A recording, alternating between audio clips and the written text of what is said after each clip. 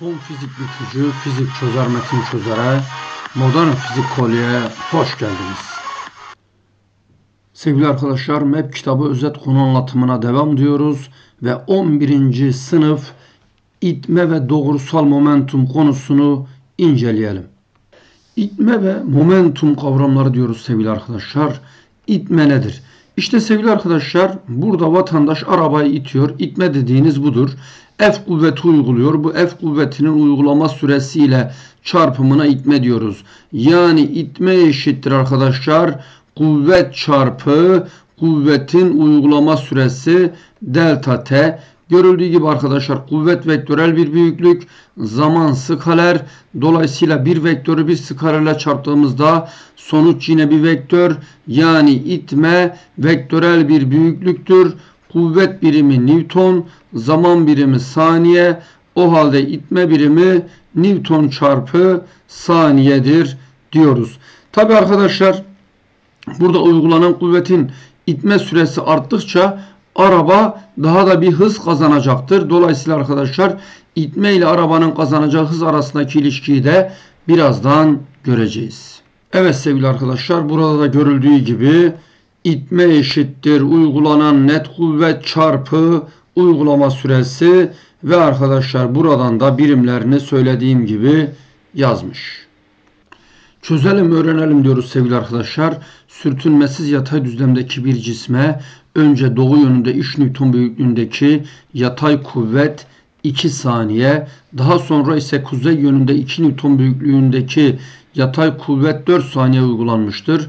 Kuvvetler ayrı ayrı uygulandığına göre cisme verilen toplam itme nedir? Sevgili arkadaşlar dedik ki itme eşittir uygulanan kuvvet çarpı uygulama süresi direkt T'de yazabiliriz. O halde arkadaşlar I1 eşittir 3 çarpı 2 diyoruz. F çarpı D 3 kere 2 6 kuzeye doğru. I2 eşittir arkadaşlar 2 Newton büyüklüğündeki kuvvet 4 saniye 2 çarpı 4 diyoruz. 2 çarpı 4 eşittir 8. O halde arkadaşlar önce doğu yönünde verilen itme I1 eşittir 6. Sevgili arkadaşlar sonra kuzey yönünde verilen itme I2 eşittir 8. Görüldüğü gibi arkadaşlar itme vektörel bir büyüklük olduğu için iki vektörü nasıl topluyorsanız bu itme vektörlerini de o şekilde toplayacaksınız. İşte doğu ile kuzey arasındaki açı 90 derece olduğu için 6, 8, 10 üçgeni. O halde arkadaşlar cisme verilen toplam itme 10 Newton çarpı saniye diyoruz sevgili dostlar. Evet sevgili arkadaşlar çok önemli bir grafik bilgisi. Net kuvvet zaman grafiklerinde grafik çizgisi ile zaman ekseni evet grafik çizgisi ile zaman ekseni arasında kalan alan bize neyi verecektir arkadaşlar? F çarpı T itmeyi verecektir diyoruz. Demek ki arkadaşlar net kuvvet zaman grafiklerinde alan bize itmeyi veriyor. Çözelim öğrenelim diyoruz. Sürtünmesiz yatay düzlemde durmakta olan bir cisme uygulanan yatay kuvvetin zamana göre değişim grafiği şekilde verilmiştir. Buna göre 0-20 saniye aralığında verilen itme. Evet arkadaşlar bu alan bize itmeyi verecek. İşte şu üçgen alanı 40 çarpı 10 400 bölü 2 200. Şu dikdörtgenin alanı 40 çarpı 10 400. O halde arkadaşlar toplamı nedir? 600 Newton çarpı saniye. Evet 0-20 saniye aralığında uygulanan kuvvetin ortalaması. Sevgili arkadaşlar verilen toplam itmemiz nedir? 600 Newton çarpı saniye. Bu da F ortalama çarpı toplam uygulama süresi yani 20 şöyle böldüğünüzde arkadaşlar her iki tarafı ikiye böldüğünüzde ortalama kuvvetimiz 30 Newton olmaktadır. Demek ki arkadaşlar ortalama kuvveti nasıl buluyoruz? Toplam itmeyi buluyorsunuz. 600 eşittir F ortalama çarpı toplam uygulama süresi. Sevgili arkadaşlar siz çözün diyor. Sürtünmesiz yatay düzlemde durmakta olan bir cisme uygulanan yatay kuvvetin zamana göre değişim grafiği şekildeki gibi verilmiştir.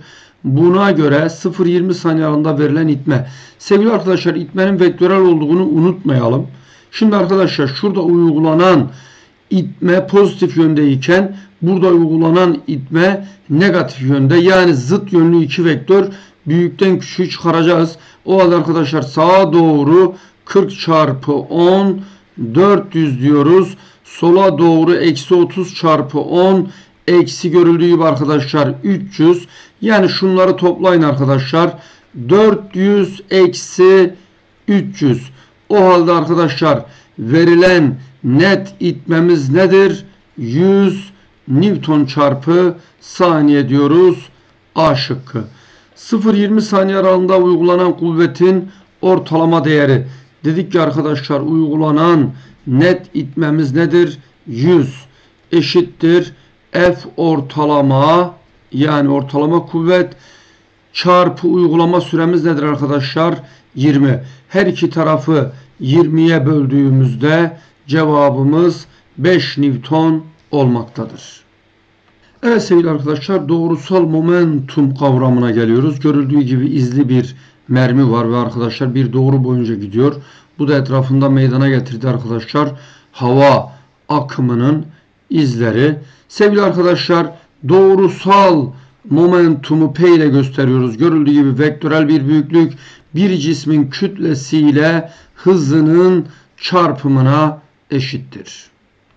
Sevgili arkadaşlar hava sürtünmelerinin ihmal edildiği bir ortam düşünelim. Şöyle küçük bilyeler. Fakat arkadaşlar kütlemiz 2m m olsun. Bıraktığımızda arkadaşlar hangisinin çamura daha çok batmasını bekliyoruz? Evet 2m. Halbuki arkadaşlar aynı yükseklikten hızları aynı.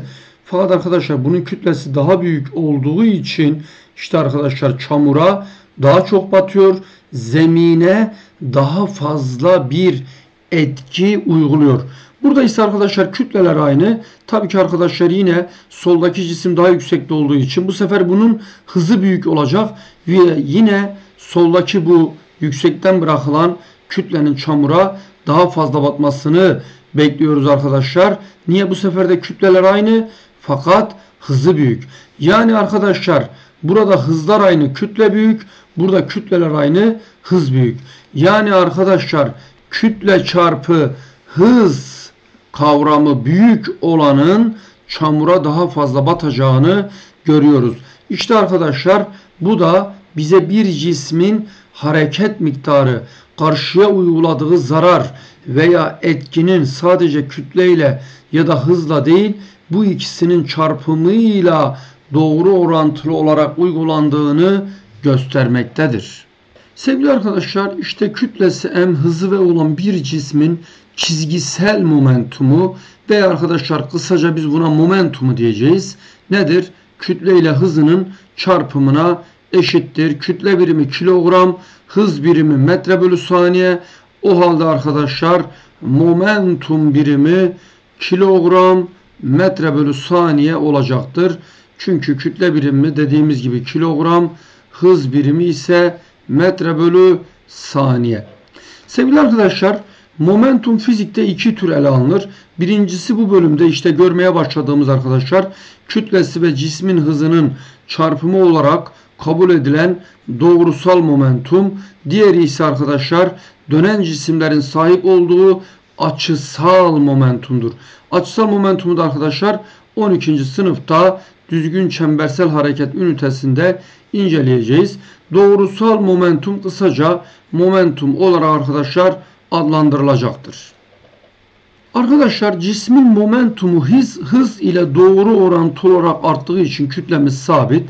Hız arttıkça momentum da artıyor. Görüldüğü gibi momentum ile hızın birbirine bağımlı grafiği, momentumun hıza bağlı, hızın momentuma bağlı grafiği doğru orantılı olacak şekilde gitmektedir. Şurada tanjant alfanın arkadaşlar tanjant alfa P bölü V bunun da M olduğunu görüyoruz.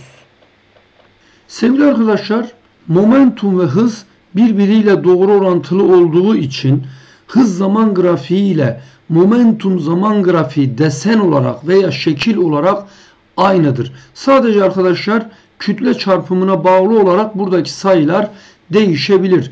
Diyelim ki arkadaşlar şuradaki hızımızın büyüklüğü ne olsun? 20 olsun diyelim sevgili arkadaşlar. Kütlemiz de 2 kilogram ise momentumumuz m çarpı v'den şu değer sadece 40 olacaktır. Sıfırdan 40'a geliyor.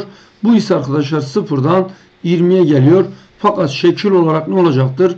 Aynı. Çünkü P eşittir M çarpı V diyoruz.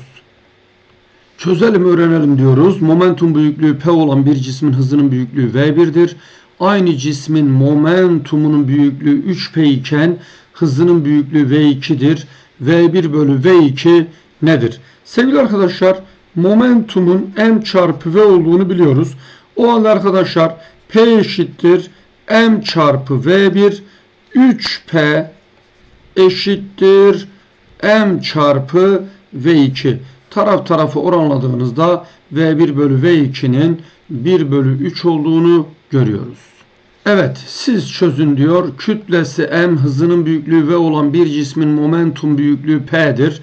Buna göre kütlesi 2M hızının büyüklüğü 3 V olan cismin momentumunun büyüklüğü ne olur? Sevgili arkadaşlar momentum M çarpı V olduğuna göre P eşittir M çarpı V. P üssü eşittir diyoruz. 2M çarpı 3V. 2M çarpı 3V de arkadaşlar ne yapacaktır? Tabii ki 6 yapacaktır. Görüldüğü gibi 1 bölü 6. Buradan P üstünü çekiyoruz. 6P diyoruz. Momentum değişimi diyoruz sevgili arkadaşlar. Değişimi her zaman delta ile gösteriyoruz. Delta P. Momentumun vektörel bir nicelik olduğunu söyledik mi? Evet. O halde arkadaşlar momentum değişimi de vektörel işlemlere göre yapılmalıdır. İlk momentumumuz P1, son momentumumuz P2. Momentum değişimi delta P eşittir. P2 eksi P1. Her zaman arkadaşlar değişim son eksi ilktir. P son eksi P ilk de diyebilirsiniz. P2 eksi P1 de diyebilirsiniz sevgili arkadaşlar. O halde ne diyoruz? M çarpı V2 eksi M çarpı V1. M parantezinde V2 eksi V1 diyoruz. Sevgili arkadaşlar V2 eksi V1 ne demek? Hız değişimi. Delta V. İşte arkadaşlar buradaki delta V buradaki hız değişimidir. O halde momentum değişimimiz M çarpı delta V ile verilmektedir. Çözelim, öğrenelim diyoruz sevgili arkadaşlar. Yatay bir düzlemde şekildeki M kütleli cisim sağa doğru 3 ve büyüklüğündeki hızla bir engele çarparak aynı doğrultuda ve geri yönde sola doğru 2 ve büyüklüğündeki hızla engelden geri dönüyor veya yansıyor.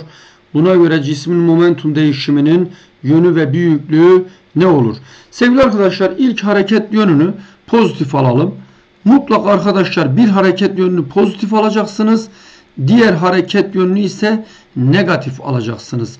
Sevgili arkadaşlar cisim geldi ve engelden görüldüğü gibi 2 ve hızıyla yansıdı. Sola doğru olduğu için arkadaşlar eksi 2 ve o halde ilk momentumumuz arkadaşlar sağa doğru m çarpı 3 ve p ilk eşittir 3 m ve p son ise veya p2 ise arkadaşlar sola doğru p2 eşittir 2 mv büyüklüğünde olduğunu görüyoruz.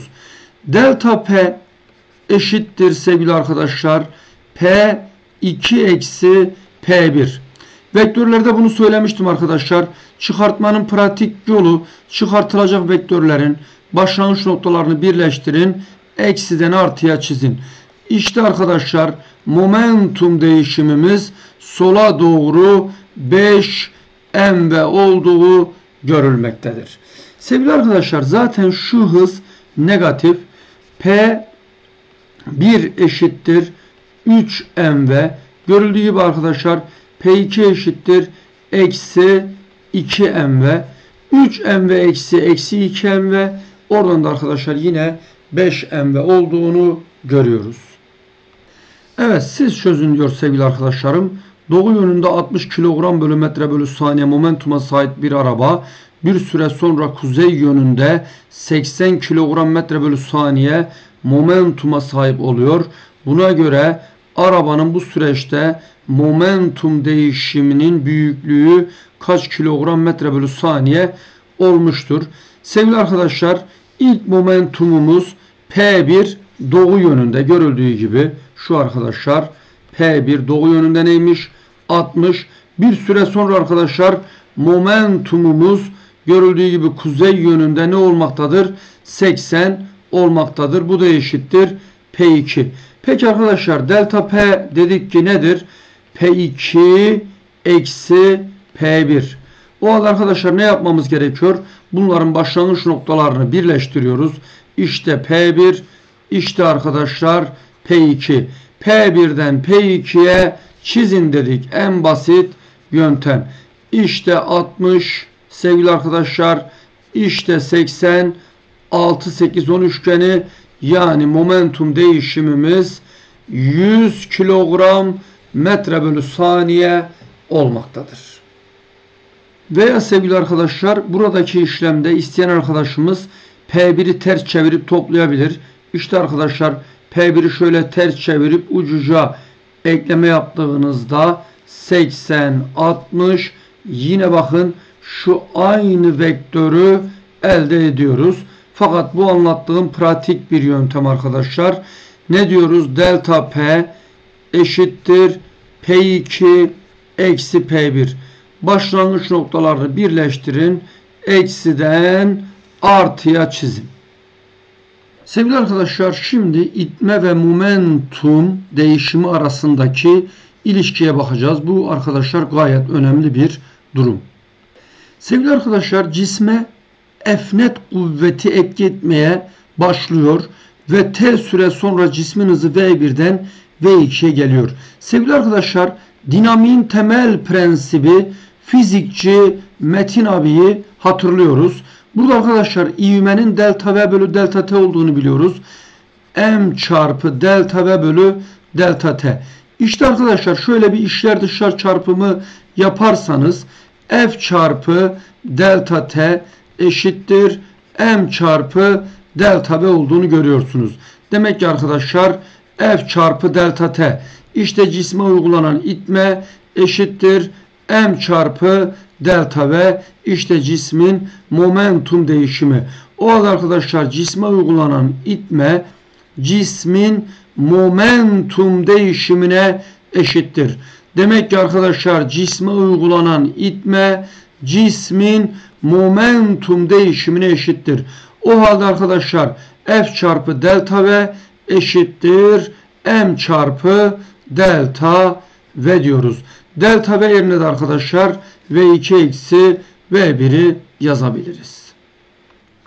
Çözelim, öğrenelim diyoruz sevgili arkadaşlar. Momentumu doğuya doğru 60 kilogram metre bölü saniye olan bir cisme 10 Newton büyüklüğünde bir kuvvet kuzeye doğru 8 saniye süreyle uygulanıyor. Buna göre cismin son momentumu kaç kilogram metre bölü saniye olur. Sevgili arkadaşlar dedik ki cisme verilen itme eşittir delta P. Yani P2 eksi P1.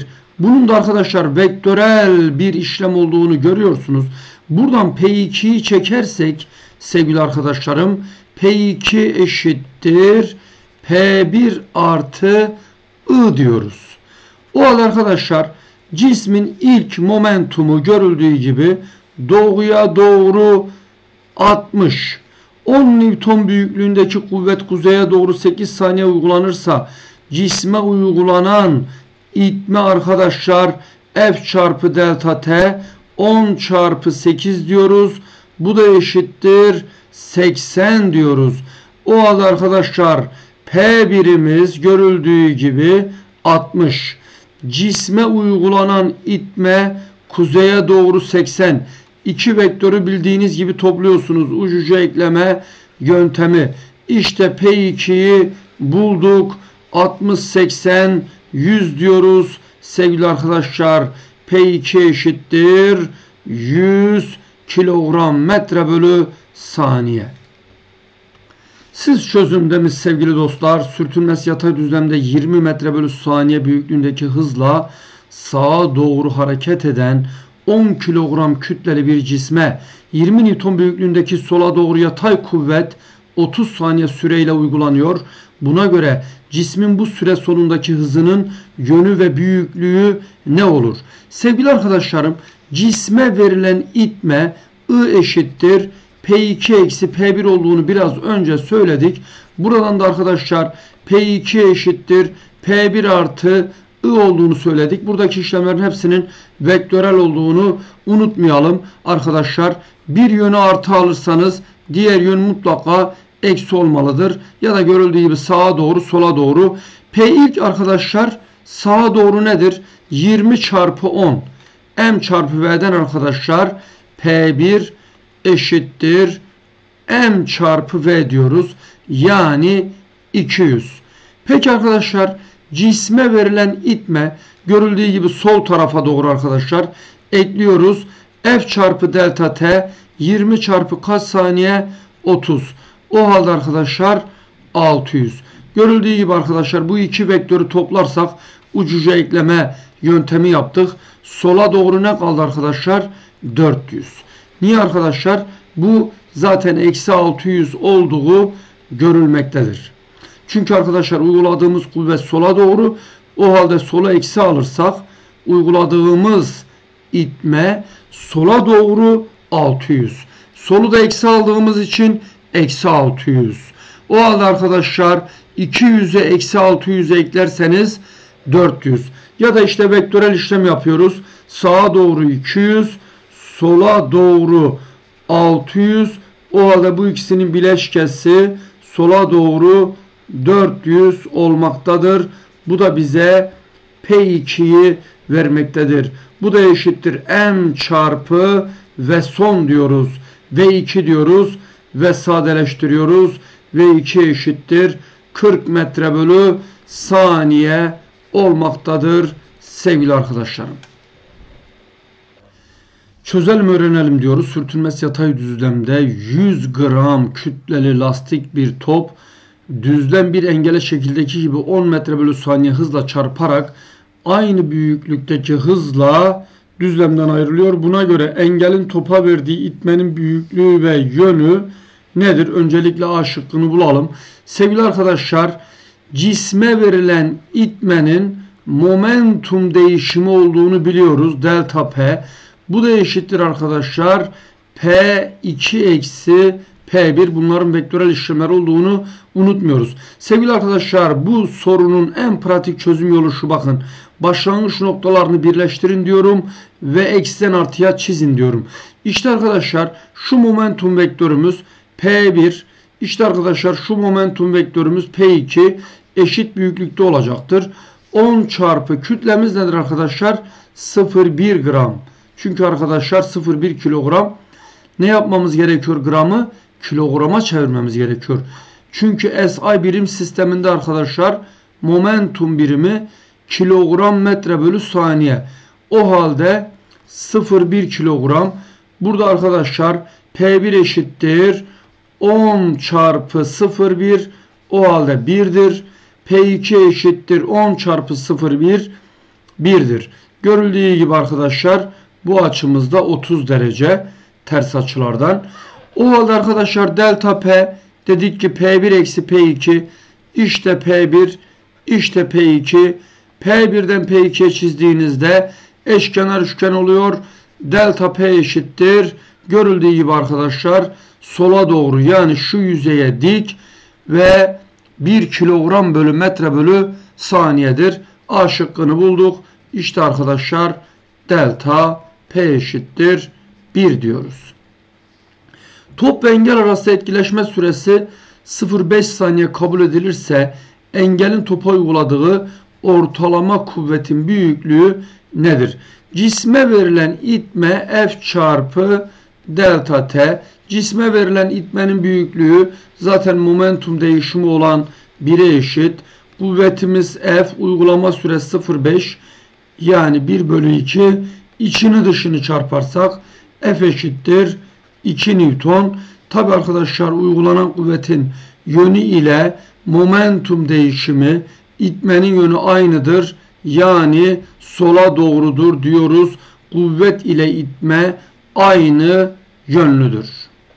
Sevgili arkadaşlar bulduğumuz bu tabii ki kuvvet, kuvvetin ortalama değeri zaten soruda da o soruluyor. Fakat arkadaşlar top sıkışırken ilk önce arkadaşlar sıkışma anında uygulanan kuvvet önce giderek artıyor. Şöyle bir azalma var.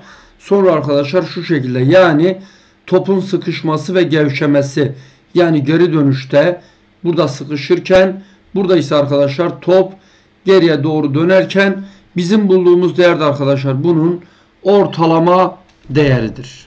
Evet sevgili arkadaşlar siz çözün diyor. Şekildeki yatay sürtünmesi düzlemde bir cismin 3 farklı engeldeki etkileşimleri gösterilmiştir. Birinci cisim V süratiyle engele çarpıp aynı süratle engelden geri dönüyor. İkinci cisim V süratiyle engele çarpıp yapışıyor. Üçüncü cisim ise V süratiyle engele çarparak engeli V bölü 3 süratiyle delip geçiyor.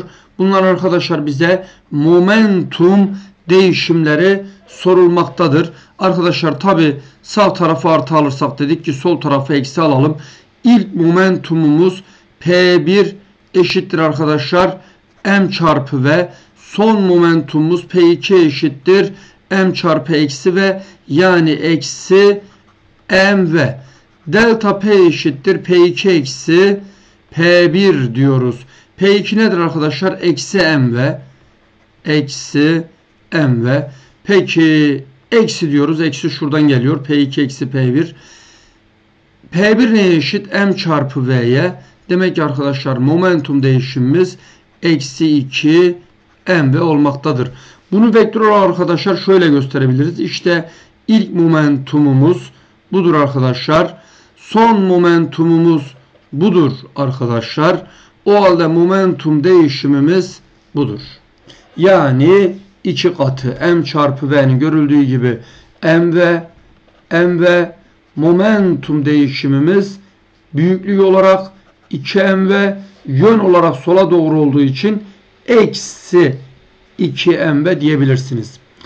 Burada ise arkadaşlar P1 eşittir M çarpı V. P2'nin sıfır olduğunu görüyorsunuz.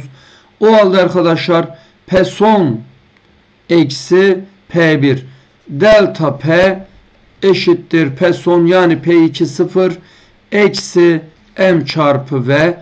O halde arkadaşlar momentum değişimimiz eksi mv olmaktadır. Yani son momentumumuz arkadaşlar sıfır. Büyüklük olarak da momentumumuz m çarpı v kadar azaldığını gösteriyor. Burada ise arkadaşlar ilk momentumumuz P1 eşittir. Yine m çarpı v. Son momentumumuz P2 eşittir. m çarpı v bölü 3. İşte arkadaşlar delta P eşittir. P son eksi P ilk. Yani M V bölü 3 eksi M V. Bu da ne oldu arkadaşlar? 3 ile çarparsak eksi 2 bölü 3 M V olmaktadır. Bunu vektör olarak da arkadaşlar şöyle görebilirsiniz. P1 budur M V. P2 de arkadaşlar görüldüğü gibi M V bölü 3. Dedik ki pratik yöntem P1'den P2'ye çizin. İşte arkadaşlar momentum değişimimiz şu 1'dir. Şu ise 1 bölü 3'tür. Momentum değişimi 2 bölü 3. Sola doğru olduğu için eksi 2 bölü 3 olduğunu göstermektedir. Arkadaşlar ben şıkkında diyor ki uygulama süreleri aynı ise uygulanan kuvvetler. Arkadaşlar burada verilen itme F çarpı delta T. Delta T'ler aynı. O zaman arkadaşlar kuvvet ile itme doğru orantılı. İtme de arkadaşlar momentum değişimine eşit olduğu için momentum değişimi büyük olanın kuvveti de büyük olur. Yani arkadaşlar şurada uygulanan kuvvet F1 en büyük. Momentum değişimimiz görüldüğü gibi arkadaşlar eksi 2 mv. Burada eksi mv. Burada ise eksi 2 bölü 3 yani birden küçük. O halde F1 büyük. F2 büyük. F3 olur diyoruz sevgili arkadaşlar. Çözelim öğrenelim diyoruz sevgili arkadaşlar. Kütlesi 2 kilogram olan bir cisim K noktasından ve sıfır hızıyla şekildeki gibi yatay olarak atılınca kesikli çizgilerle belirtilen yörünge izleyerek L noktasına çarpıyor. Buna göre cismin kale arasındaki momentum değişimi kaç kilogram metre bölü saniye olur? Sevgili arkadaşlar görüldüğü gibi cisim yüksekliği 20 metre olan yerden yatay atış hareketi yapıyor. Yatay atış hareketi düşeyde serbest düşme, yatayda ise düzgün doğrusal hareket. X eşittir v 0 çarpı t ile bulunuyor. H eşittir 1 bölü 2 g t kare.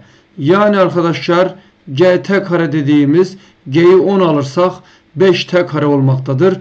Ya da 5 15 görüldüğü gibi 2 saniye 20 eşittir 5 t kareden sevgili arkadaşlar buradan t eşittir 2 saniye. Sevgili arkadaşlar cismin momentumundaki değişim cisme verilen itmeye eşittir. Bu noktada arkadaşlar yere çarpma hızının düşey bileşeni V'ye eşittir G çarpı T'den 10 çarpı 2 eşittir 20. O halde arkadaşlar momentum değişimimiz M çarpı delta V'ye. Çünkü arkadaşlar Vx hızı sabit. Yatayda cisme etkeden bir kuvvet olmadığı için yataydaki hızı da momentumu da sabittir. Sadece düşeyde momentum değişir. Bu da arkadaşlar her zaman şu ilişkiyle bulunabilir. Ya da arkadaşlar cisme zaten etki eden kuvvet cismin ağırlığıdır. mg çarpı t ile bulabiliriz. İşte arkadaşlar m nedir? 2. G nedir? 10. T'yi ne bulduk arkadaşlar? 2. O halde 2 kere 2 4 çarpı 10 40. Ya da arkadaşlar m çarpı delta v'ye. m nedir? 2. Hızdaki değişim 20. 2 çarpı 20 nedir arkadaşlar? 40 kilogram metre bölü saniye diyoruz.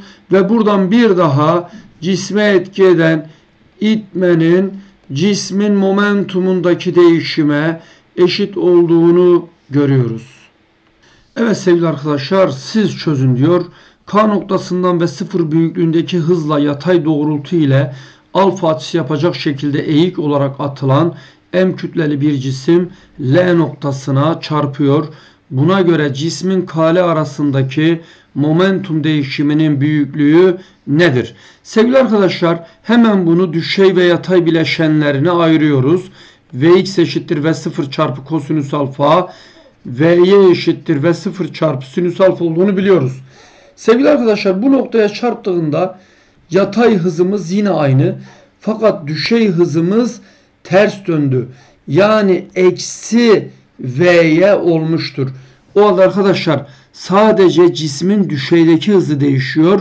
O halde sadece arkadaşlar cismin düşeydeki momentumu değişmektedir. Cismin momentumundaki değişim sadece y ekseni üzerinde olup m çarpı delta v'ye diyoruz. Delta v'ye eksi v'ye eksi v'ye ne oldu arkadaşlar? Eksi 2 v'ye. Buradaki eksi yön belirtiyor aşağı doğru olduğunu. Bunun büyüklüğü ise arkadaşlar 2 m çarpı v'ye olmuştur. Yani 2 çarpı m çarpı v'ye yerine de v 0 çarpı sinüs alfa diyoruz. İşte arkadaşlar momentumdaki değişim ve aynı zamanda cisme verilen itme her zaman bu şekilde bulunabilir. Siz çözün diyor sevgili dostlar. Şekildeki gibi K düzeyinde sırasıyla serbest düşme ile ve sıfır büyüklüğündeki hızla yatay atış ve aşağıya doğru eğik atış hareketi yaptırılan eşit kütleli 1-2-3 numaralı cisimlerin kale arasındaki momentum değişimlerini karşılaştırınız. Sevgili arkadaşlar momentum değişimi cisme verilen itme ile ilgilidir veya eşittir. Bu da arkadaşlar aynı zamanda F çarpı delta T yani mg çarpı delta T'ye eşittir. Mg'ler zaten aynı. Sevgili arkadaşlar serbest bırakılan bir cisimle aynı yüksekten yatay atış hareketi yaptırılan bir cisim aynı sürede yere varacaktır. Yani T1 eşittir T2. Çünkü biraz önce de söylediğim gibi yatay atış hareketinde cisim düşeyde serbest düşme hareketi yapıyor. Fakat bunun düşeyde bir ilk hızı var. Aşağı doğru bir ilk hız olduğu için daha kısa sürede varacaktır. Yani arkadaşlar T3 en küçük olacaktır. Bu durumda emgeler aynı olduğu için T1 eşittir T2 o da büyüktür T3 çarpıyoruz. Yani arkadaşlar I1 eşittir I2 bunlar da büyüktür I3. Bundan dolayı delta P1 eşittir delta P2 bunlar da büyüktür arkadaşlar. Delta P3 sorunun en kolay ve basit çözümünü bu şekilde düşünüyorum. Çözelim öğrenelim diyoruz. Sürtünmesi yatay düzlemde bulunan T eşittir 0 anında hızı 4 metre bölü saniye olan bir cisme yola paralel uygulanan kuvvetin zamana göre değişim grafiği şekildeki gibi verilmiştir. Cismin kütlesi 10 kilogram olduğuna göre T eşittir 15 saniye anındaki hızının büyüklüğü nedir? Sevgili arkadaşlar bizden hızın büyüklüğünü istiyor. Kuvvet zaman grafiğinde alan cisme verilen itmeyi verecek. Cisme verilen itme de arkadaşlar momentum değişimini verecektir. Cismin ilk hızını da vermiş 4 metre bölü saniye. Peki arkadaşlar alan bize itmeyi veriyorsa alanı bulalım. 8 kere 5 40 8 çarpı 5 bölü 2 20 burası ise arkadaşlar 5 çarpı eksi 4 bölü 2 5 çarpı eksi 4 20 eksi 20 bölü 2 eksi 10. O halde sevgili arkadaşlar cisme verilen net itme 60 eksi 10 50'dir. Bu da eşittir m çarpı delta v.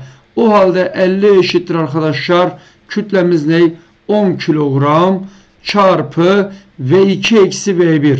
Delta v yerine v2 eksi v1 neymiş arkadaşlar? 4. Sadeleştirmeler yapıyoruz. Eksi 4 sol tarafa artı 4 olarak geçiyor. Cismin son hızı v2 eşittir 9 metre bölü saniye diyoruz sevgili dostlar. Net kuvvet zaman grafikleri ile momentum zaman grafikleri arasındaki dönüşüm. Arkadaşlar net kuvvet zaman grafiğinde alan neyi veriyordu? İtmeyi bu da momentum değişimini veriyordu. İşte arkadaşlar 2I'ya I olduğu için arkadaşlar 2P'ye P'dir. Momentumumuz arkadaşlar 0 T aralığında 2P kadar artmış. T2 T aralığında ise arkadaşlar P kadar artmış. Fakat alanları gördüğünüz gibi alanlar giderek azalıyor. Yani artıyor. Momentum artıyor fakat azalarak artıyor. Arkadaşlar görüldüğü gibi kuvvet azalıyor.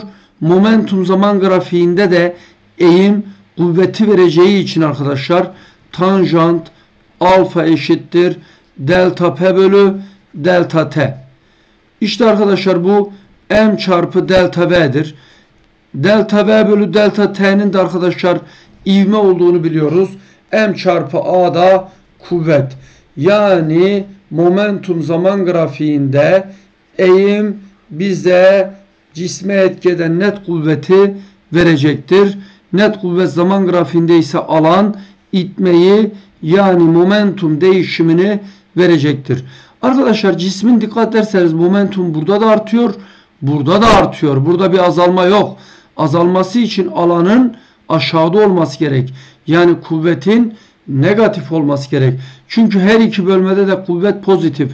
Burada 2P kadar artmış. Burada da P kadar artmış. Buna dikkat edin. Sadece burada arkadaşlar artma miktarı azalıyor. Yani artar e, düzgün artıyor, azalarak artıyor. Eğer arkadaşlar şöyle bir kuvvetle uygulasaydık bu sefer arkadaşlar şu şekilde artacaktı. Artarak artma. 1, 3, 5, 7, 9 gibi gidiyor. Durgun bir cisme uygulanan net kuvvet zaman grafiği şekildeki gibidir. Buna göre cismin momentum zaman grafiği nasıl olur? Sevgili arkadaşlar biraz önce de dedik ki net kuvvet zaman grafiğinde alan itmeyi yani momentum değişimini veriyor. O halde bu alana 2P dersek bu alan P olur. Bundan dolayı arkadaşlar 2P'ye P diyelim. Burada arkadaşlar görüldüğü gibi alan 0. Net kuvvet 0 olduğu için itme ve momentum değişimi de 0. Bu alanda arkadaşlar eksi 2P olur. O halde arkadaşlar burada düzgün artmaktadır. Yani 0'dan 2P'ye geldi diyoruz ve şuraya 2P'yi işaretliyoruz. Burada ise P kadar artıyor. Azalarak artıyor. Biraz önceki grafikte olduğu gibi arkadaşlar. Dolayısıyla 3P'ye geldi. Burada ise arkadaşlar net kuvvet 0 dedik. Dolayısıyla itme ve momentum arkadaşlar değişimi yok. Cisme verilen itme sıfır. Cisme verilen itme sıfır olduğu için arkadaşlar momentum değişimi de sıfır. Bundan dolayı arkadaşlar momentumu sabit demektir.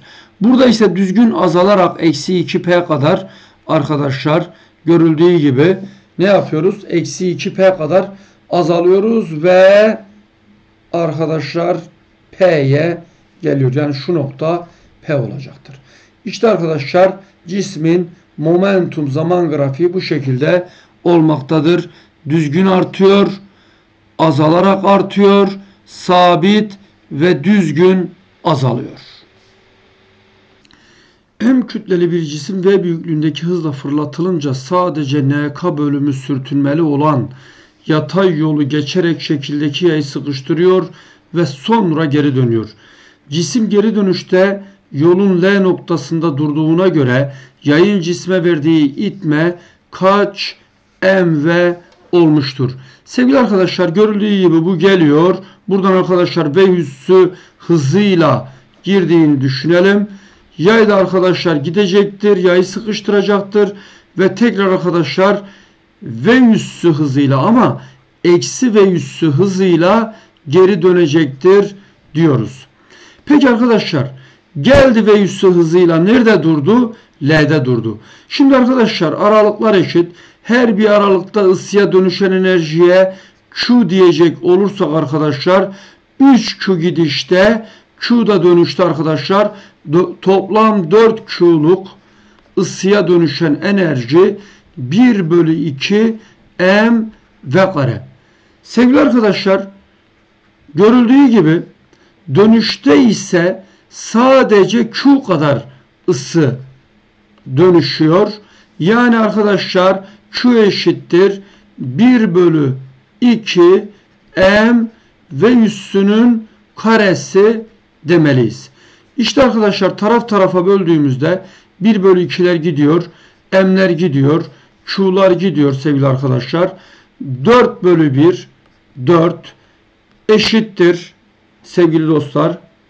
V kare bölü V üssünün karesi ya da burada V2 de diyebilirdik. Şurada üstler karışmasın diye V2 diyelim sevgili arkadaşlar. O halde V kare bölü V2'nin karesi diyoruz. Her iki tarafın kare kökünü aldığımızda arkadaşlar 1 bölü 2 eşittir V bölü V2. Buradan V2 eşittir V bölü 2 olmaktadır. Demek ki sevgili arkadaşlar şurayı şöyle bir temizleyecek olursak sevgili dostlar şöyle bir temizledik. Diyoruz ki bu cisim sevgili arkadaşlar V üssü ya da V2 hızıyla gelip eksi V2 hızıyla geri dönmüştür. V2 hızı nedir arkadaşlar? V bölü 2'dir. O halde cisme verilen itme cismin momentum değişimine eşit olup o da eşittir arkadaşlar m çarpı bakın eksi v2 eksi v2 yani eksi 2 v2 oldu. v2 yerine de arkadaşlar v bölü 2 yazacak olursak eksi mv buluruz. İşte arkadaşlar buradaki eksi tabi uygulanan itmenin ve kuvvetin sağa doğru olduğunu göstermektedir. İlk hareket yönünü cismin ilk hareket yönü sola doğru bunu artı alırsam arkadaşlar sağ taraf eksi çıkar. İşte arkadaşlar yayın uyguladığı itme kuvveti de sağa doğrudur. Bundan dolayı arkadaşlar yayın uyguladığı itme momentum değişimine eşit olup eksi m çarpı ve diyoruz. Çok güzel bir soru. Sevgili arkadaşlar mevzunun en önemli yerlerine geliyoruz. Momentumun korunumu. Sevgili arkadaşlar cisme dışarıdan bir kuvvet uyguladığımızda, bir itme uyguladığımızda arabanın bir momentum kazandığını görüyoruz. Cisme uygulanan itme momentum değişimine eşittir. Çünkü arkadaşlar cisme bir net kuvvet uyguluyoruz. İşte uyguladığımız net kuvvet F net çarpı delta T de cisme uygulanan itmeyi bu itmede momentum değişikliğine sebep olduğunu öğrendik. Sevgili arkadaşlar aynı kuvveti veya çok daha büyük bir kuvveti fark etmez arkadaşlar. Arabanın içerisine geçip uyguladığımızda bakın arkadaşlar sistemin içindeyiz. Sistemin içindeki kuvvetler, iş kuvvetler birbirini dengelemektedir. İşte arkadaşlar F kuvveti, etki kuvveti, tepki kuvveti birbirini dengelediği için cisim bir hız kazanmıyor. Araba bir hız kazanmıyor. Bir momentum kazanmıyor. Çünkü arkadaşlar sistemdeki iş kuvvetler birbirini dengeler. Bir sisteme dışarıdan uygulanan yeterli kuvvet sistemin momentumunda değişim yapar. Yani arabanın hareketinde bir değişim olur. Bunu biraz önceki resimde gördük. İşte bu resimde ise arkadaşlar bir sistemin içindeki kuvvetler birbirini dengeler ve sistemde momentum değişimi yapmaz diyoruz. Birbirine arkadaşlar dokunmakta olan şu patencilerin birbirine uyguladığı kuvvetler iş kuvvetlerdir. İlk durumda momentum sıfırsa arkadaşlar son durumda da momentum sıfır olacaktır. İşte arkadaşlar şu M1 V1 olsun. Şu da M2 V2 olsun. İlk durumda momentum sıfır olduğu için son durumda da sıfır olacaktır. Yani sıfır eşittir M1 V1 artı M2 V2. İşte arkadaşlar buradan cisimlerin eşit momentum büyüklüğü ile zıt yönde gittiğini söyleyebiliriz. P1, P2.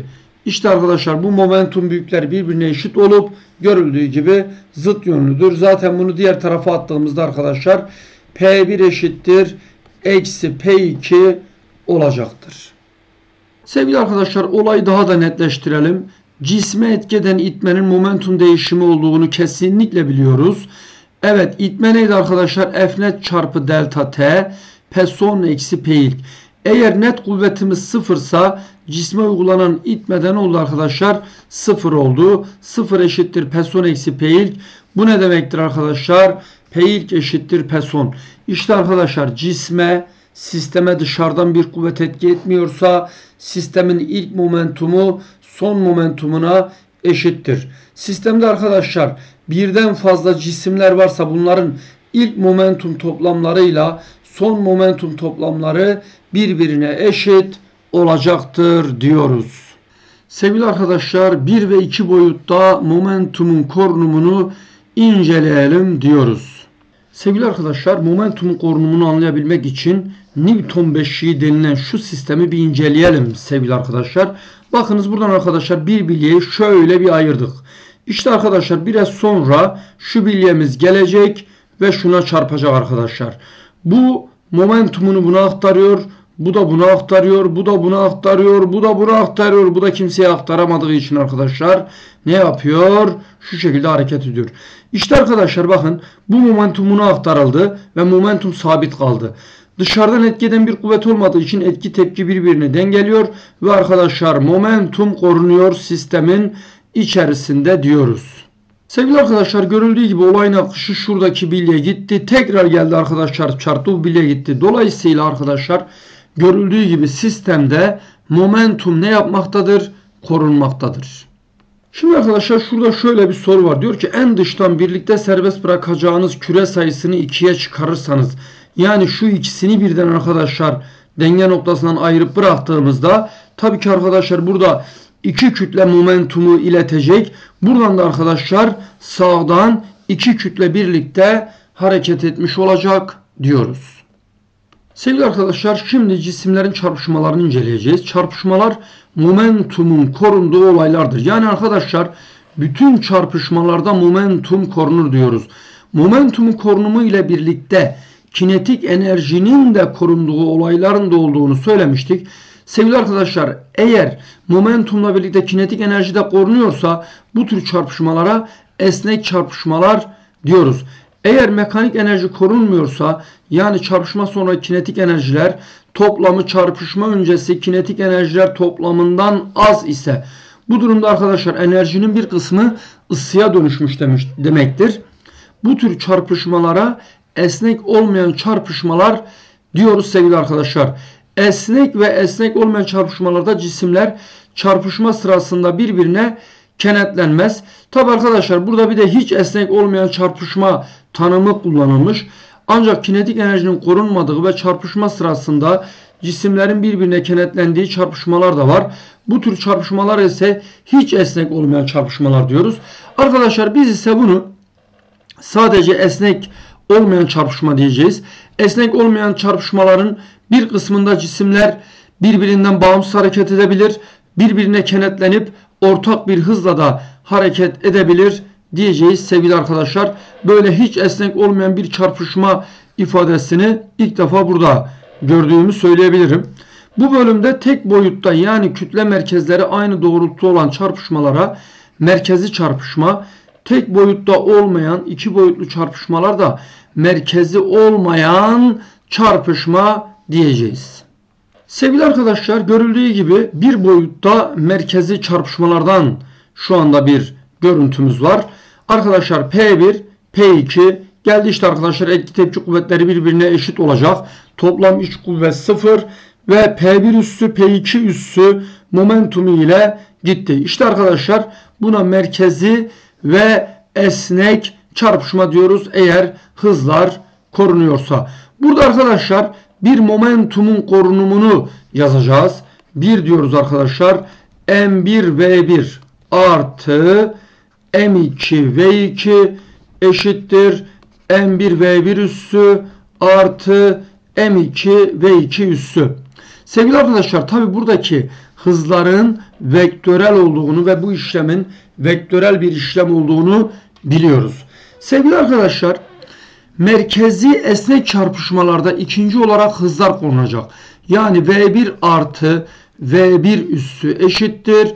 V2 artı V2 üssü diyoruz.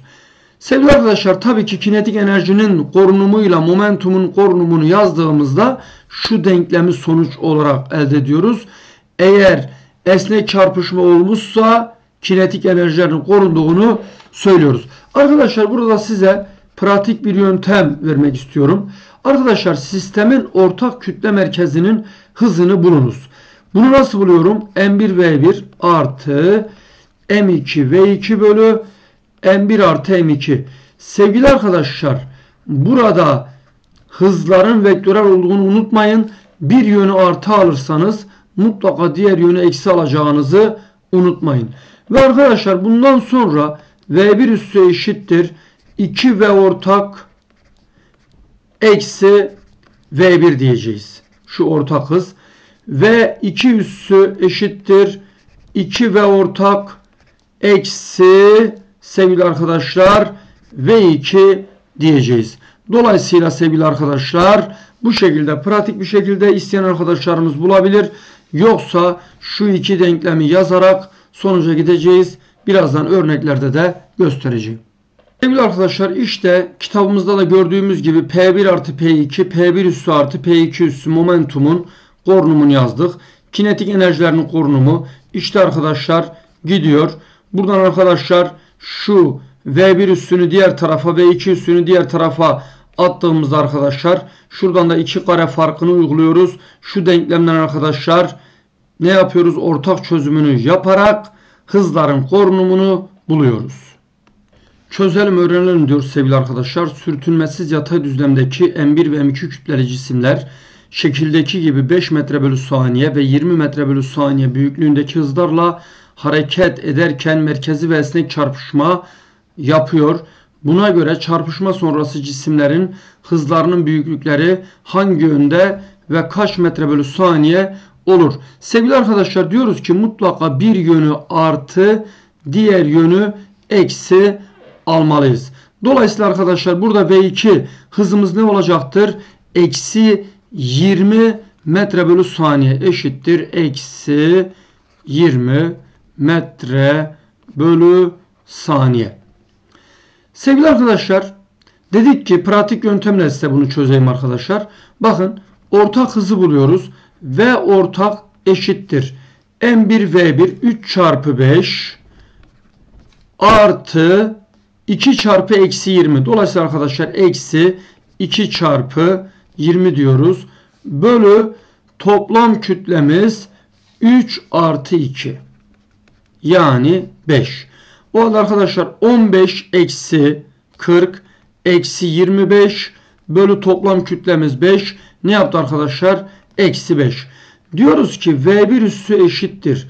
2V ortak sevgili arkadaşlar 2V ortak eksi V1. Peki ortak hızımız nedir arkadaşlar? Eksi 5. O halde 2 çarpı 5 eksi 10 eksi V1 nedir arkadaşlar? 5. Ne oldu arkadaşlar? Eksi 15 metre bölü saniye. Hemen V2 üstüne bakalım. V2 üssü eşittir. 2 V ortak diyoruz sevgili arkadaşlar. Eksi V1 değil V2 diyoruz. Evet V2 üssü eşittir. 2 V ortak eksi V2. 2 çarpı ortak hızımız arkadaşlar eksi 5 bulmuştuk. Eksi 10 eksi eksi 20 görüldüğü gibi eksi 20 diyoruz. O halde arkadaşlar eksi 10 artı 20 ne yaptı? Artı 10. Demek arkadaşlar çarpışmadan sonra V2 hızı sağa doğru 10. V1 ise arkadaşlar sola doğru eksi 15 metre bölü saniye hızla hareket edecek diyoruz. Sevgili arkadaşlar normal kitabın anlattığı çözüm yönteminden de zaten onu da söyledim arkadaşlar. Bakın momentumu korunumunu yazıyoruz. Ve arkadaşlar V1 üssü ile V2 üssü arasında ilişkiyi buluyoruz. Tabii ki dedik ki arkadaşlar bir yönü artı alırsak diğer yönü eksi alacağız. V2 ters yönlü olduğu için eksi işareti yazıyoruz. İşte arkadaşlar bu önemli. Sonra arkadaşlar V1 artı V1 üssü eşittir V2 artı V2 üssü. Zaten V1 ve V2 belli. 5 eksi 20. Yerine yazdık arkadaşlar. Bir denklem daha bulduk. İşte şu iki denklemin arkadaşlar ortak çözümünden taraf tarafa toplayabiliriz. Şurayı 2 ile çarparsanız arkadaşlar 3 ve 1 e, şunu arkadaşlar ne yapmamız lazım o zaman? Eksi 2 ile çarpmamız gerekiyor ki V2 üssü eksi V2 üssü gitsin. O halde arkadaşlar 3 V1 üssü burayı eksiyle çarptığımız için artı 2 V1 üssü 5 V1 üssü. Bu da ne oldu arkadaşlar? Eksi 50 oldu. Buradan da arkadaşlar V1 üssü ne oldu arkadaşlar? 10. Dolayısıyla bu şekilde de sonuca gidebiliriz. Evet siz çözün diyor sevgili arkadaşlarım. Sürtünmesi yatay düzlemdeki M1 ve M2 kütleli cisimler şekildeki gibi 12 metre bölü saniye ve 3 metre bölü saniye büyüklüğündeki hızlarla hareket ederken merkezi ve esnek çarpışma yapıyor. Buna göre çarpışma sonrası cisimlerin hızlarının büyüklükleri hangi yönde ve kaç metre bölü saniye olur? Sevgili arkadaşlar dedik ki bir yönü artı alırsak diğer yönü mutlaka eksi almalıyız. O halde sağ tarafı artı alalım. Genel olarak bu şekilde yapıyoruz. Sol tarafı eksi. Demek ki arkadaşlar V2 hızımız ne olacaktır? Eksi 3 metre bölü saniye diyoruz. O halde arkadaşlar pratik yöntemden bakın ortak hızı bulalım. M1V1 3 çarpı 12 36 artı eksi 3 çarpı 2 eksi 6 bölü toplam kütle 3 2 daha 5. 30 bölü 5 görüldüğü gibi arkadaşlar 6 olmaktadır. Diyoruz ki V1 üssü eşittir 2 V ortak eksi V1. Şimdi yerine yazıyorum. 2 çarpı ortak hızımız 6 12 eksi V1 12. O halde arkadaşlar ne yaptı? Çarpışmada M1 eşittir 3 kilogram kütleli cisim durdu. Hızı 0. Son hızı. Peki arkadaşlar bakalım. M2 kütleli cismin hızına ve 2 üssü eşittir 2 ve ortak 2 çarpı 6 12 eksi V1 eksi eksi 3. O halde arkadaşlar 12 artı 3 ne yaptı? 15 metre bölü saniye. Sevgili arkadaşlar diyoruz ki çarpışmalarda momentum korunmalı. Peki arkadaşlar ilk momentumumuza bakalım. P ilk eşittir 12 çarpı 3 36 artı 2 çarpı 3 eksi 6 ne yaptı arkadaşlar? 30. Son momentumumuza bakalım sevgili arkadaşlar. Son momentum bunun hızı 0 olduğu için 3 çarpı 0 0 artı 2 çarpı 15 30. İşte arkadaşlar P ilk eşittir P son olduğunu görüyoruz. Eğer arkadaşlar buradaki değer 30 çıkmasaydı demek ki şu yaptığımız işlemler yanlış bir işlem diyoruz. Bu da arkadaşlar sorunun pratik çözümü. Bu yöntemi arkadaşlar mutlaka öğrenmenizi tavsiye ediyorum. Sevgili arkadaşlar bazı özel durumlara bakalım. Şimdi merkezi ve esnek çarpışmalarda arkadaşlar çarpışma yapan cisimlerin kütleleri eşit ise diyoruz ki hızlarını birbirine aktarırlar. O halde arkadaşlar hızı 10'a 5 ya da arkadaşlar bir tarafı gördüğünüz gibi artı diğer tarafı eksi aldığımızda bu hızımız ne oldu? Eksi 5 oldu. İşte hızını buna aktardı. Eksi 5 metre bölü saniye ve arkadaşlar M1 hızını M2'ye aktardı. 10 metre bölü saniye. İlk momentuma baktığımızda arkadaşlar 10m eksi 5m ne oldu arkadaşlar? 5m. Son momentuma bakalım. 10m eksi 5m yine arkadaşlar görüldüğü gibi 5m olmaktadır ve momentum korunmaktadır.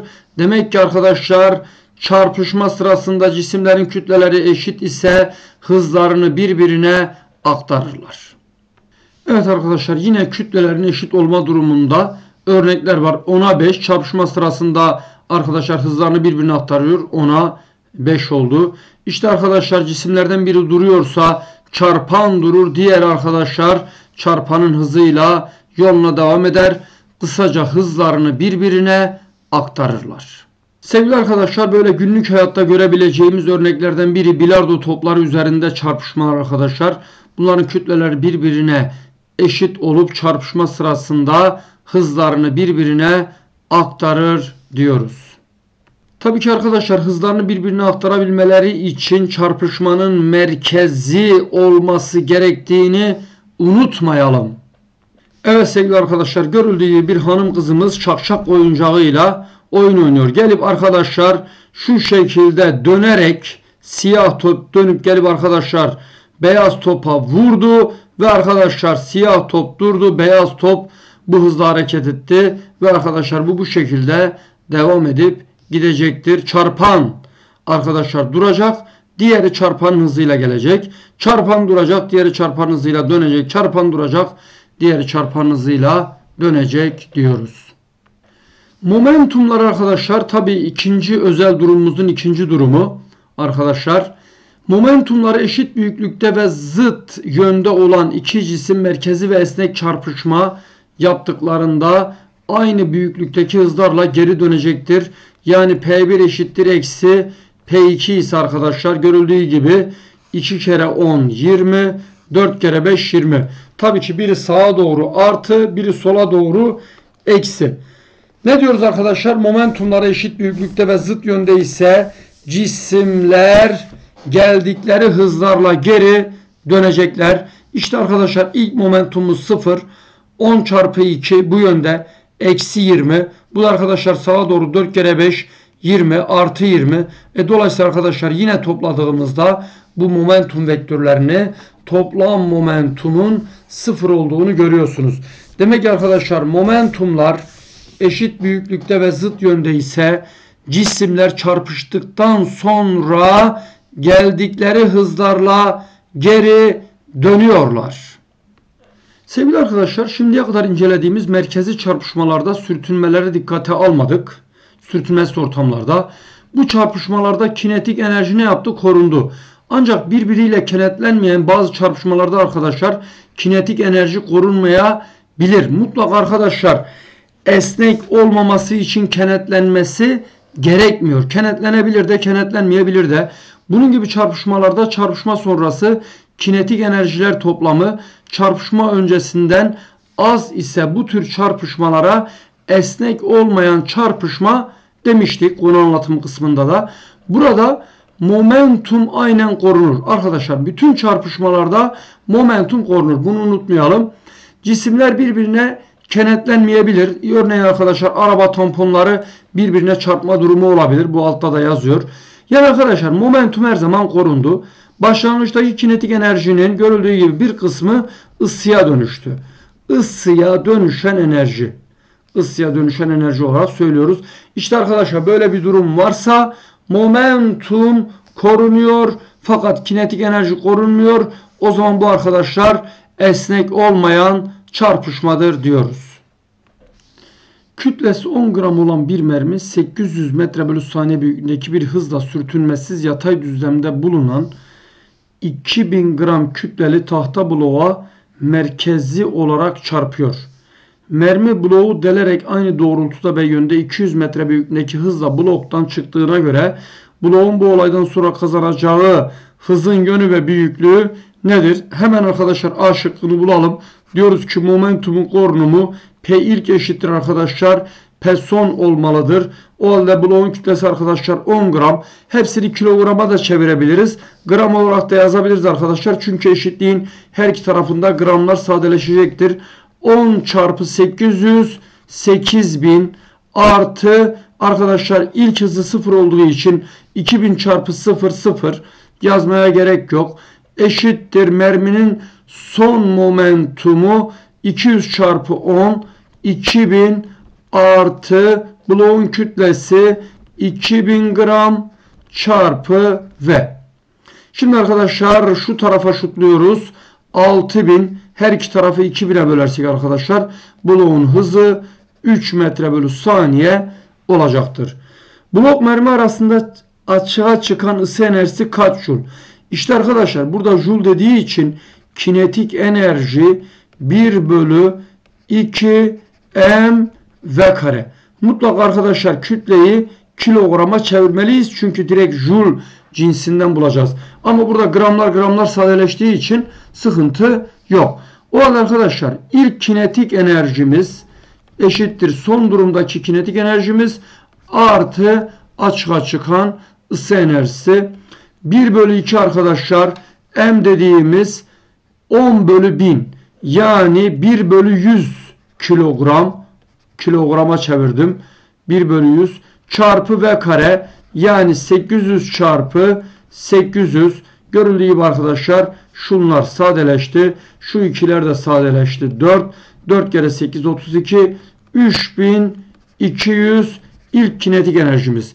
Peki arkadaşlar son durumdaki kinetik enerjimiz hem bloğun hem de arkadaşlar merminin kinetik enerjisi 3200 eşit olmalıdır. Bloğun arkadaşlar kütlesi 2 kilogram 1 bölü 2 m v kare 3'ün karesi 9 artı 1 bölü 2 merminin kütlesi 1 bölü 100 dedik artı 200'ün karesi bunu arkadaşlar 200 çarpı 200 diyorum artı ısıya dönüşen enerji. Görüldüğü gibi şunlar sadeleşti. Sadeleşti. Burada ne kaldı arkadaşlar? 200. Burada ne kaldı? 9. 209. O halde arkadaşlar 3200'den 209'u çıkarttığımızda açığa çıkan ısı enerjisi 3200 eksi 209 olmaktadır diyoruz. Arkadaşlar çarpıştıktan sonra kenetlenen cisimler için yani birlikte hareket eden cisimlerin arkadaşlar ortak bir hızlarından bahsedebiliriz ki kitap bunu arkadaşlar hiç esnek olmayan çarpışma demiş. Biz ise bunu arkadaşlar esnek olmayan çarpışmanın bir bölümü olarak görüyoruz. Neticede arkadaşlar esnek olmayan çarpışmalarda cisimler çarpışmadan sonra ayrı ayrı da hareket edebilir. Kenetlenip ortak bir hızla da hareket edebilir. İşte arkadaşlar yine P ilk eşittir P son yazıyoruz. M1 V1 artı M2 V2 eşittir. M1 artı M2 yani M toplam çarpı V ortak diyeceğiz sevgili arkadaşlar. Çözelim öğrenelim diyoruz sevgili arkadaşlar. Kütleleri 2 kilogram ve 1 kilogram olan iki cisim şekildeki doğrultuda ve yönlerde 6 metre bölü saniye ve 3 metre bölü saniye büyüklüğündeki hızlarla merkezi olarak sürtünmesiz yatay düzlemde hareket ediyor. Bir süre sonra cisimler arkadaşlar çarpışarak birbirine kenetlendiğine göre ortak hızın yönü ve büyüklüğü. Hemen arkadaşlar P ilk eşittir P son yazıyoruz. Mutlaka bir yönü artı diğer yönü eksi alıyoruz. O halde arkadaşlar V2 hızımız eksi. Evet P1 artı P2 eşittir P ortak diyeceğiz. Yani M1V1 artı M2V2 2 çarpı 6 2 çarpı 6 12 arkadaşlar artı eksi 3 çarpı 1 eksi 3 eşittir M toplam 2 artı 1 3 çarpı ve ortak hız. 12 eksi 3 9 9 eşittir 3 ve ortak. Buradan arkadaşlar ve ortağın 3 olduğunu bulduk. O halde ortak hızımız 3 metre bölü saniye. Sürtünme nedeniyle oluşan ısı kaç joul'dur? Sevgili arkadaşlar ilk durumdaki kinetik enerjimiz 1 bölü 2 mv kare artı 1 bölü 2 m2 v2'nin karesi eşittir. Son durumdaki arkadaşlar görüldüğü gibi şu şekilde birbirine kenetlenerek 3 metre bölü saniye hızla hareket etmektedir. Toplam kütlemiz de nedir? 5. O halde yazalım. 1 bölü 2 m 6 kare 6 kare 36 artı 1 bölü 2 m1 çarpı 3'ün karesi 9 eşittir. 1 bölü 2 m5 çarpı 3'ün karesi 9 artı ısıya dönüşen enerji. İşte arkadaşlar 36 bu tarafa gönderiyoruz. 9 kere 5 45 arkadaşlar 45 bölü 2 eksi 9 bölü 2 36 eksi eksi arkadaşlar 45 bölü 2 olarak geçiyor. Artı 9 bölü 2 eksi 45 bölü 2. İşte arkadaşlar bu bize kaybolan ısıyı vermektedir. 9 eksi 45 ne yapacaktır arkadaşlar? 36. 36 bölü 2 18. 36 eksi 18 o halde açığa çıkan ısı 18 joule diyoruz. Arkadaşlar şurada 5 şıkkını yaparken şurada toplam kütleyi 5 aldık. Orada bir hata yaptık. Şimdi arkadaşlar başlangıçtaki kinetik enerjimiz 1 bölü 2 mv kare 30 6 eşittir artı 1 bölü 2 m 1 çarpı 9 3'ün karesi 9 eşittir. Toplam kütle ne oldu arkadaşlar? 2 1 daha 3 ben şu 3'ü ekledim yanlışlıkla. Toplam kütlemiz arkadaşlar 3 oldu. Hızımızı da 3 bulmuştuk. Dolayısıyla arkadaşlar 1 bölü 2 m ve kare 3'ün karesi 9 artı ısıya dönüşen enerji arkadaşlar. Buradan 3 kere 9 27 18 arkadaşlar. E, bunu bu tarafa attığımızda eksi 27 eksi 27 artı 9 eksi 18 bölü 2 9 o halde arkadaşlar açığa çıkan ısı enerjisi 36 eksi 9 27 joule diyoruz. Evet siz çözün diyor ve çözelim. Durmakta olan 98 m kütleli bir tahta bloğa 400 metre bölü saniye ve 800 metre bölü saniye büyüklüğündeki hızlarla şekildeki yönlerde hareket eden m kütleli iki mermi aynı anda saplanıp kalıyor. Buna göre çarpışmadan sonra mermiler ve tahta bloktan oluşan sistemin ortak hızı ve yönü ne olur? Sevgili arkadaşlar yine ne diyeceğiz? P ilk eşittir P son. M1 V1 artı tabii ki bir yönü artı alırsak dedik. Diğer yönü eksi alacağız. Zaten şunun ilk hızı 0. O halde M çarpı 800 M1 V1 800 M artı M çarpı eksi 400 yani eksi 400 M. İşte arkadaşlar bu ilk momentum eşittir M toplam çarpı V ortak.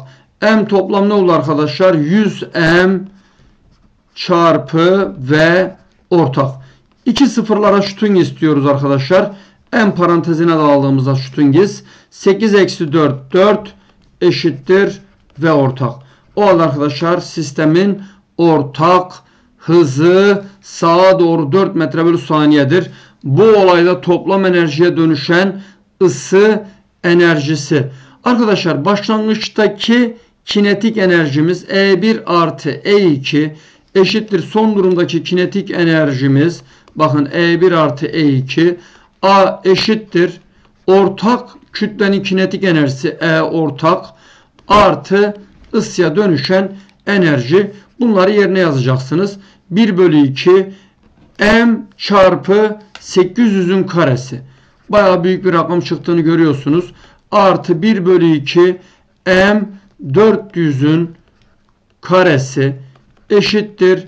1 bölü 2 toplam kütlemiz 100 m çarpı ortak hızımız ne? 4'ün karesi artı ısıya dönüşen enerji. Bir zahmet bu işlemi yapalım diyoruz. Sevgili arkadaşlar merkezi olmayan esnek çarpışmalarda burada görüldüğü gibi arkadaşlar bakın şu kütle merkezleri doğrultusunda birbirine bir itme uyguluyorlar. Dolayısıyla arkadaşlar bu cisme uygulanan itme budur. Artı arkadaşlar P1 dolayısıyla arkadaşlar cisim görüldüğü gibi şu yönde hareket etmektedir. Bunu etkeden itme de bu yönde olduğu için ve ilk hızı da sıfır olduğu için arkadaşlar V2 hızıyla da M2 kütleli cisim bu şekilde hareket etmektedir. Sevgili arkadaşlar burada momentumun korunmasından işte şu P1 sevgili arkadaşlar P1 üssü artı P2 üssü eşit diyeceğiz arkadaşlar. P1 ve bu vektörel işlem yaptığımızda sonuç çıkacaktır. Arkadaşlar bunu bileşenlerine vesaireye ayırmaya gerek yok. Sorular bu şekilde pratik olarak çözülüyor. Sevgili arkadaşlar dediğim gibi burada bir sürü arkadaşlar x eksenindeki momentumların korunumu, y eksenindeki momentumların korunumu zaten arkadaşlar esnek çarpışma olduğu için kinetik enerji korunacak. Bunu hiçbir zaman unutmayın. Çarpışma esnek değilse kinetik enerji korunmaz. Bir kısmı ısıya dönüşür. Efendime söyleyeyim işte arkadaşlar M1 V1 kosinüs alfa, M2 V2 kosinüs alfa arkadaşlar yukarı doğru işte M1 V1 sinüs alfa aşağı doğru M2 V2 sinüs beta İlk durumda arkadaşlar y ekseninde bir hareket olmadığı için 0. İkinci durumda x eksenindeki momentumu ilk durumdakine eşitlemiş. Dediğim gibi arkadaşlar bunu yapmaya, bunları yapmaya gerek yok. Şu işlemi vektörel olarak yaptığımızda P1 üssü artı P2 üssü eşittir P1. İşte şu vektörlerden, şu üçgenden arkadaşlar sonuçlara gidiyoruz. Sevgili arkadaşlar 2 kilogram kütleli cisim V1 hızıyla gelerek V2 kütleli cisme çarpışıyor, çarpışıyor ve çarpışma sonrası belirtilen hızlarla hareket ediyor. Buna göre arkadaşlar bizden V1 ve V2 üssü soruluyor. Çarpışmanın esnek olup olmadığı hakkında da yorum yapmamızı istiyor. Sevgili arkadaşlar dedik ki P1 eşittir P1 üssü artı P2 üssü. İşte arkadaşlar zaten şu açıda 30 olduğuna göre ikiz kenar olmalıdır. M1 kütlesi 2 kilogram. 2 çarpı 15 30. O halde bu vektör de 30 olmalıdır. 30 eşittir 3 çarpı V2 üssü. İşte arkadaşlar şunu şuraya aldım.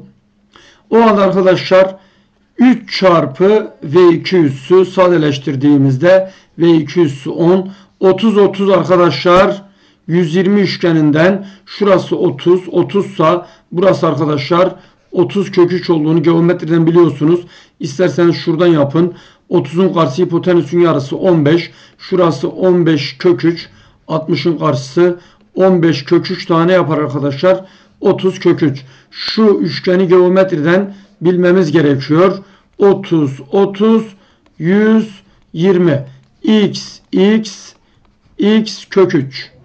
İşte arkadaşlar demek ki ilk momentumumuz 30 kök 3.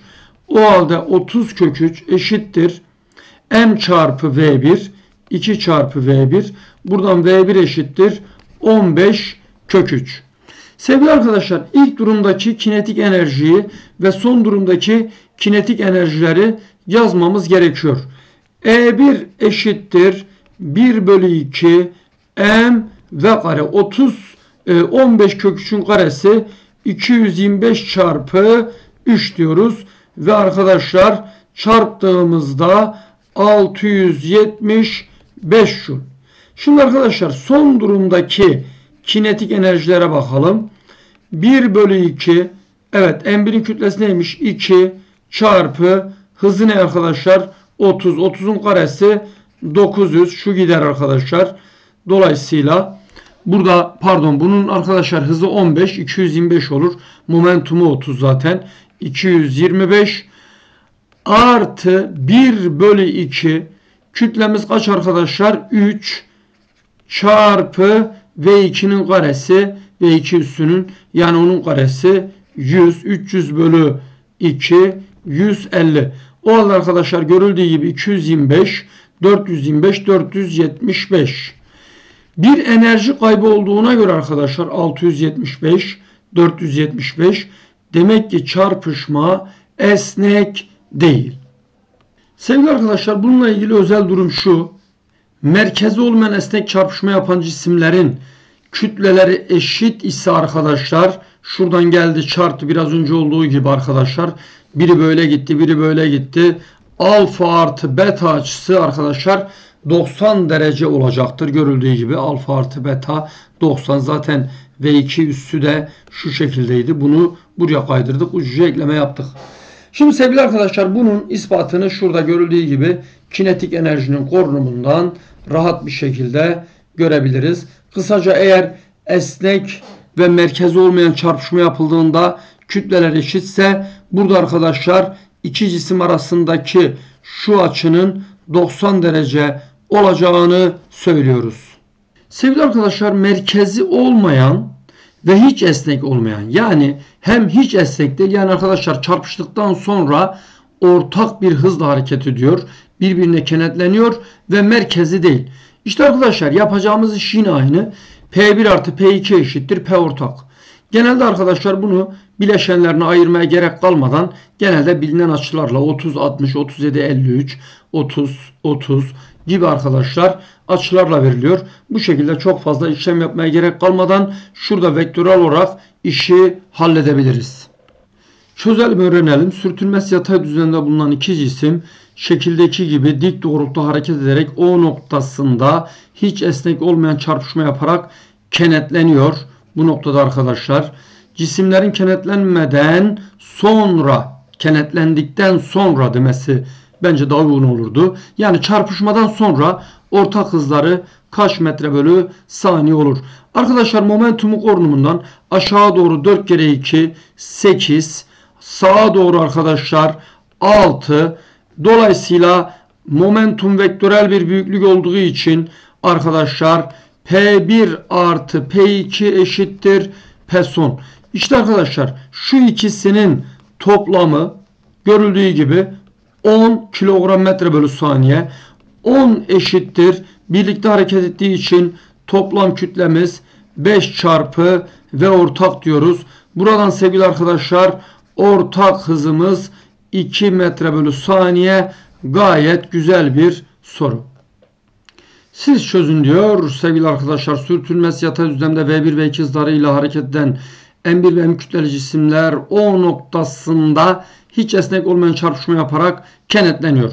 Yani arkadaşlar şu hiç kullanmasına gerek yok. Esnek olmayan çarpışma yaparak kenetleniyor dese yeter. Çarpışmadan sonra cisimler verilen 1, 2, 3, 4, 5 doğrultularının hangisinde hareket edebilir? Sevgili arkadaşlar diyoruz ki P ilk eşittir P son olmalıdır. Şimdi sevgili arkadaşlar burada kütle 1 olduğu için direkt hızın büyüklüğüyle 1'i çarpıyorum. Ama burada 2m olduğu için 2 ile çarpıyorum. Şimdi sevgili arkadaşlar bu noktaya geldiğine göre bunun hızı 2 birimdir. 2 ile arkadaşlar 2'yi çarptığımda o halde aşağı doğru arkadaşlar 4m olacaktır. O halde bunun momentumu sevgili arkadaşlar aşağı doğru 4m. Şimdi buna bakalım arkadaşlar. Sağa doğru bakın şu hızla gelip çarpmıştır. Bunun hızının yatay bileşeni 3, düşey bileşeni 3. O halde momentumu sağa doğru 3, yukarı doğru 3. 4'ten tabi 3m'e 3m çıkarttığımızda sevgili arkadaşlar aşağı doğru 1, sağa doğru 3. O halde bakın şunun ikisini birleştirdiğimizde hangisini buluyoruz? 1'i. Demek ki arkadaşlar toplam momentum sağa doğru 3, aşağı doğru 1 birim. O halde arkadaşlar cevabımız görüldüğü gibi şu bir yönünde olacaktır. Sevgili arkadaşlar tabii ki farklı türde düşünen arkadaşlarımız da olabilir. Bakın şu şuraya geldiğine göre m çarpı kökü şu arkadaşlar P1 ile P2'nin toplamı aşağı doğru 2 m çarpı 2 4 çizdim. İşte arkadaşlar P1 artı P2 bu olacak. Görüldüğü gibi aşağı doğru bir birim, sağa doğru 3 birim. Bu da yine bir yönünü verdi. Sevgili arkadaşlar patlamalar diyoruz. Görüldüğü gibi arkadaşlar momentum konusu bayağı uzun bir konu olduğunu görüyorsunuz. Arkadaşlar bu patlamalara içten patlamaya da kısaca patlama diyoruz. Ve arkadaşlar dışarıdan bir kuvvet etki etmediği için 3 kuvvetler birbirini arkadaşlar dengeler ve momentum korunur. Demek ki arkadaşlar patlamalarda momentum korunur. Ancak patlamalarda kinetik enerji toplamlarını eşitlemeye çalışmak doğru değil. Çünkü parçalanan cismin her bir parçası patlayıcı madde etkisiyle kinetik enerji arkadaşlar ne yapar? Kazanır. Yani içerideki kimyasal enerji kinetik enerjiye dönüşür. Fakat arkadaşlar içeride parçalar birbirine kuvvet uyguladığı için iş kuvvetler birbirini dengeler ve momentum korunur. Burada görüldüğü gibi arkadaşlar iki parçaya ayrılmış. Yani 1 çarpı V1 şöyle diyebilirsiniz arkadaşlar M1 çarpı V1 artı M2 çarpı V2 eşittir 0. Bu durumda sevgili arkadaşlar görüldüğü gibi M1 V1 eşittir eksi M2 V2. Yani kazandıkları hız kütle ile ters orantılı 1 kilogram 2 birim 2 kilogram 1 birim hız kazanır.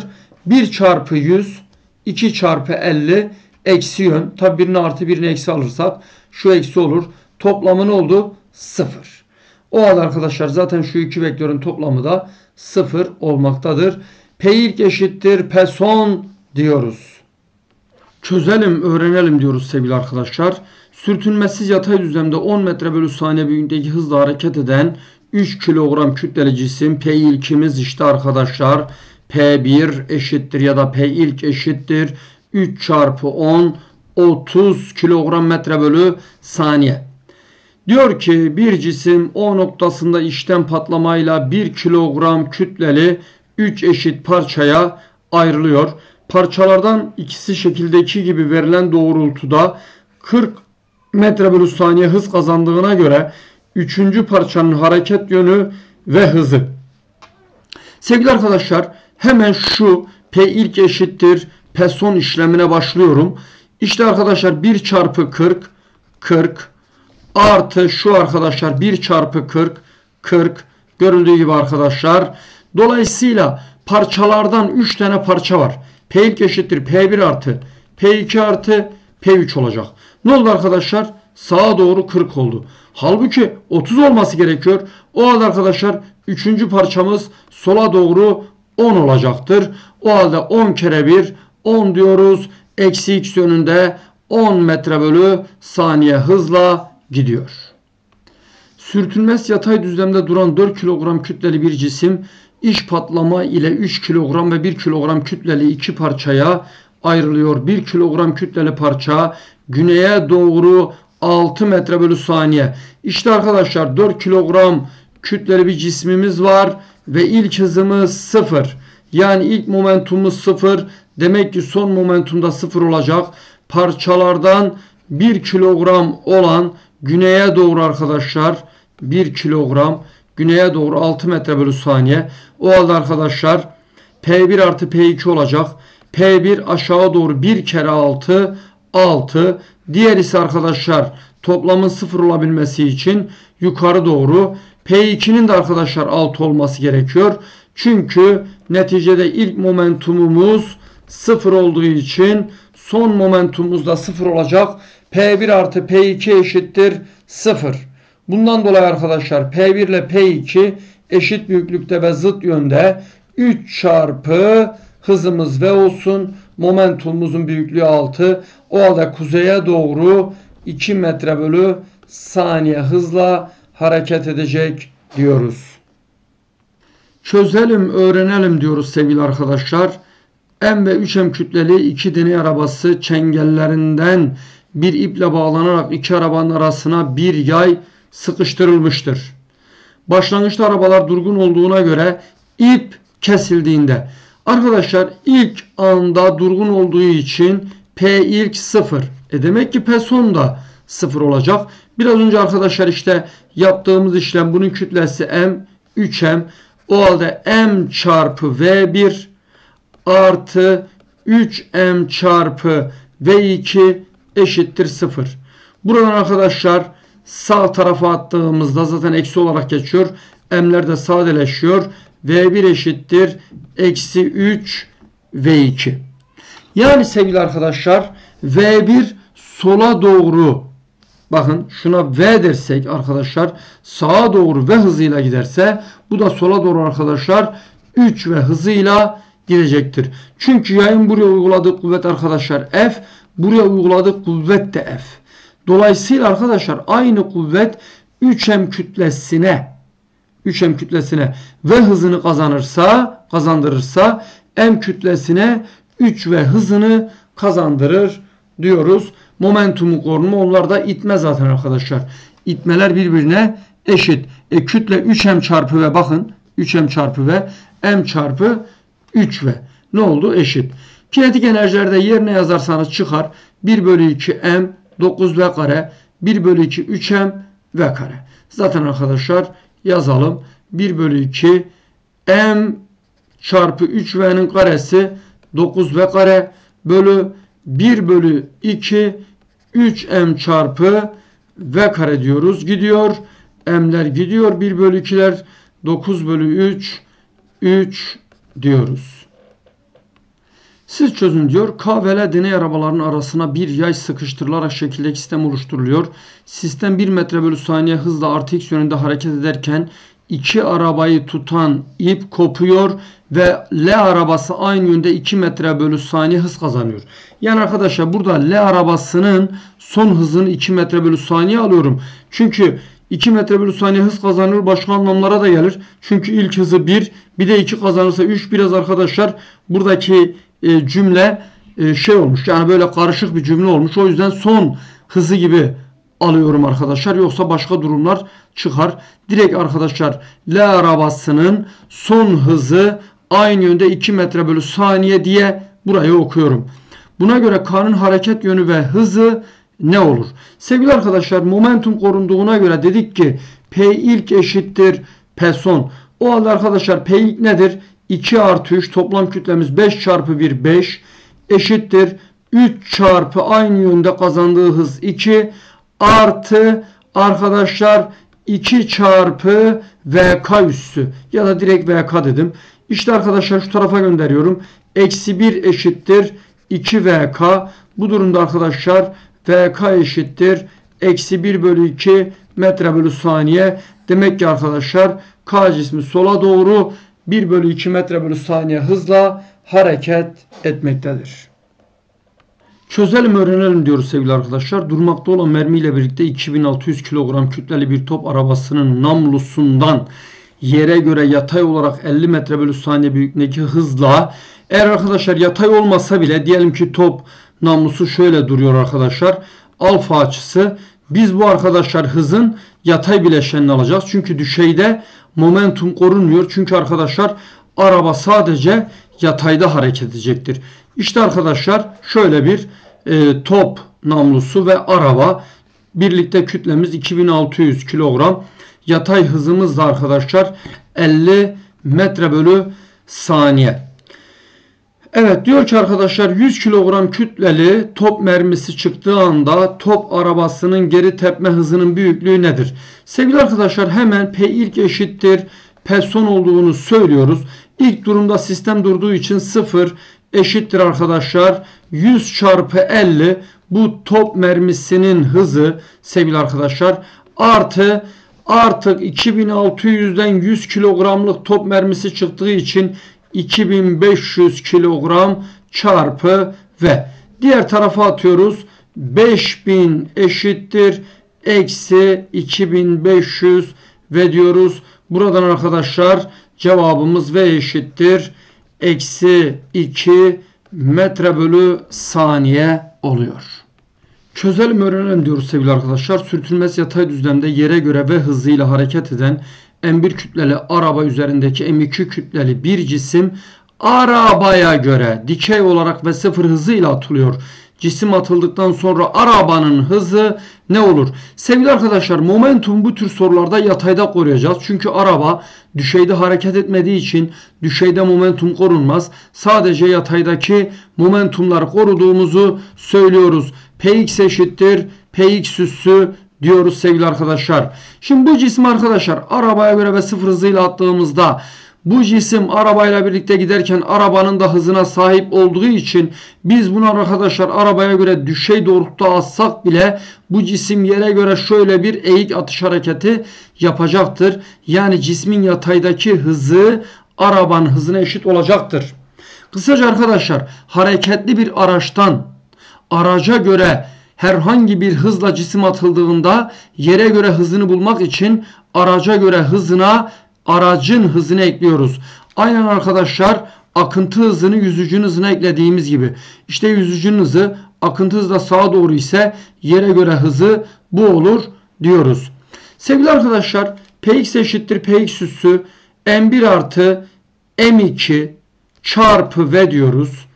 M1 artı M2 çarpı V eşittir M2 çarpı V işte yataydaki hızımız M2 çarpı V artı M1 çarpı V araba. M1 çarpı V araba. Dolayısıyla arkadaşlar şurada momentumun korunumundan görüyoruz ki sevgili arkadaşlar şunu bakın açınız. M1 V artı M2 V. E burası da M2 V. M2 V'ler gitti. Ne kaldı? M1 V eşittir. M1 çarpı V araba. Görüldüğü bu da sadeleşti. Arabanın hızı V'ye eşit olmaktadır.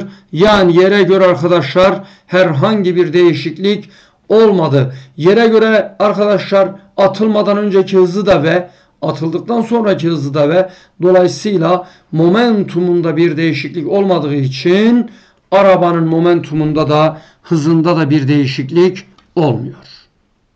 Çözelim öğrenelim diyoruz. 5M kütleli bir araba ve üzerindeki 2M kütleli cisim 2 ve büyüklüğündeki hızla hareket etmektedir.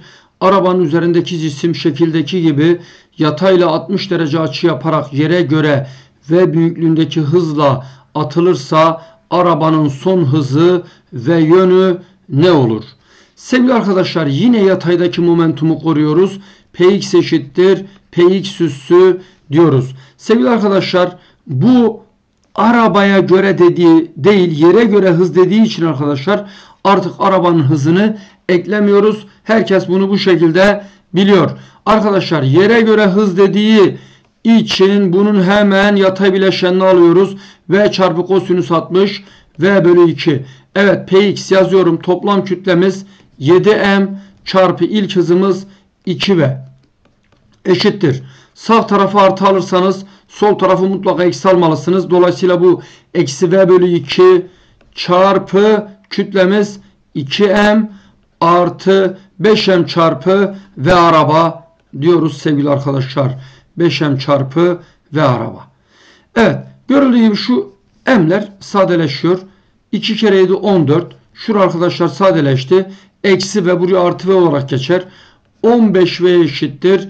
5 V araba. Her iki tarafı 5'e böldüğünüzde V araba eşittir. 3 V diyoruz. Siz çözün. 9 M kütleli araba ve üzerindeki M kütleli cisim 5 metre bölü saniye büyüklüğündeki yatay hızla birlikte hareket ediyor. Araba üzerindeki cisim şekildeki gibi yatayla 60 derece açı yaparak arabaya göre arkadaşlar 200 metre bölü saniye büyüklüğündeki hızla atılırsa arabanın son hızı ve yönü ne olur? Şimdi arkadaşlar bu arabaya göre atılıyor. Bunun arkadaşlar yatay hızı arkadaşlar nedir? 100 metre bölü saniye. Tabii ki 200 metre bölü saniye çarpı kosinüs 60 evet. Şimdi arkadaşlar yine ne diyoruz? Px eşittir Px üssü 9m m daha 10m.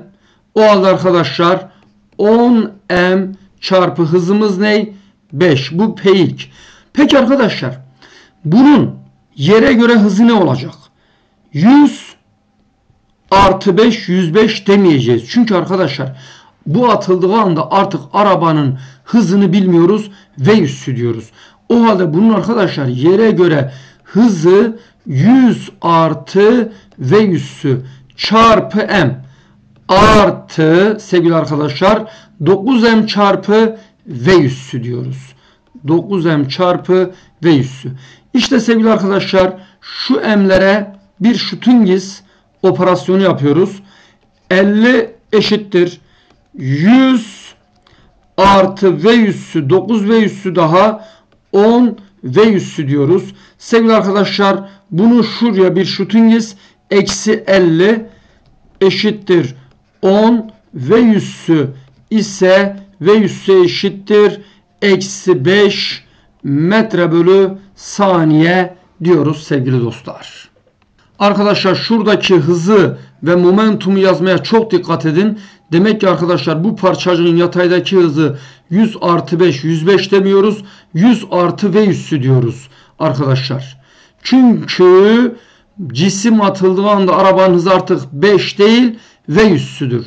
Bundan dolayı arkadaşlar yere göre hızı 100 artı v üssü. Bunun da arkadaşlar momentumu 9m çarpı v üssü.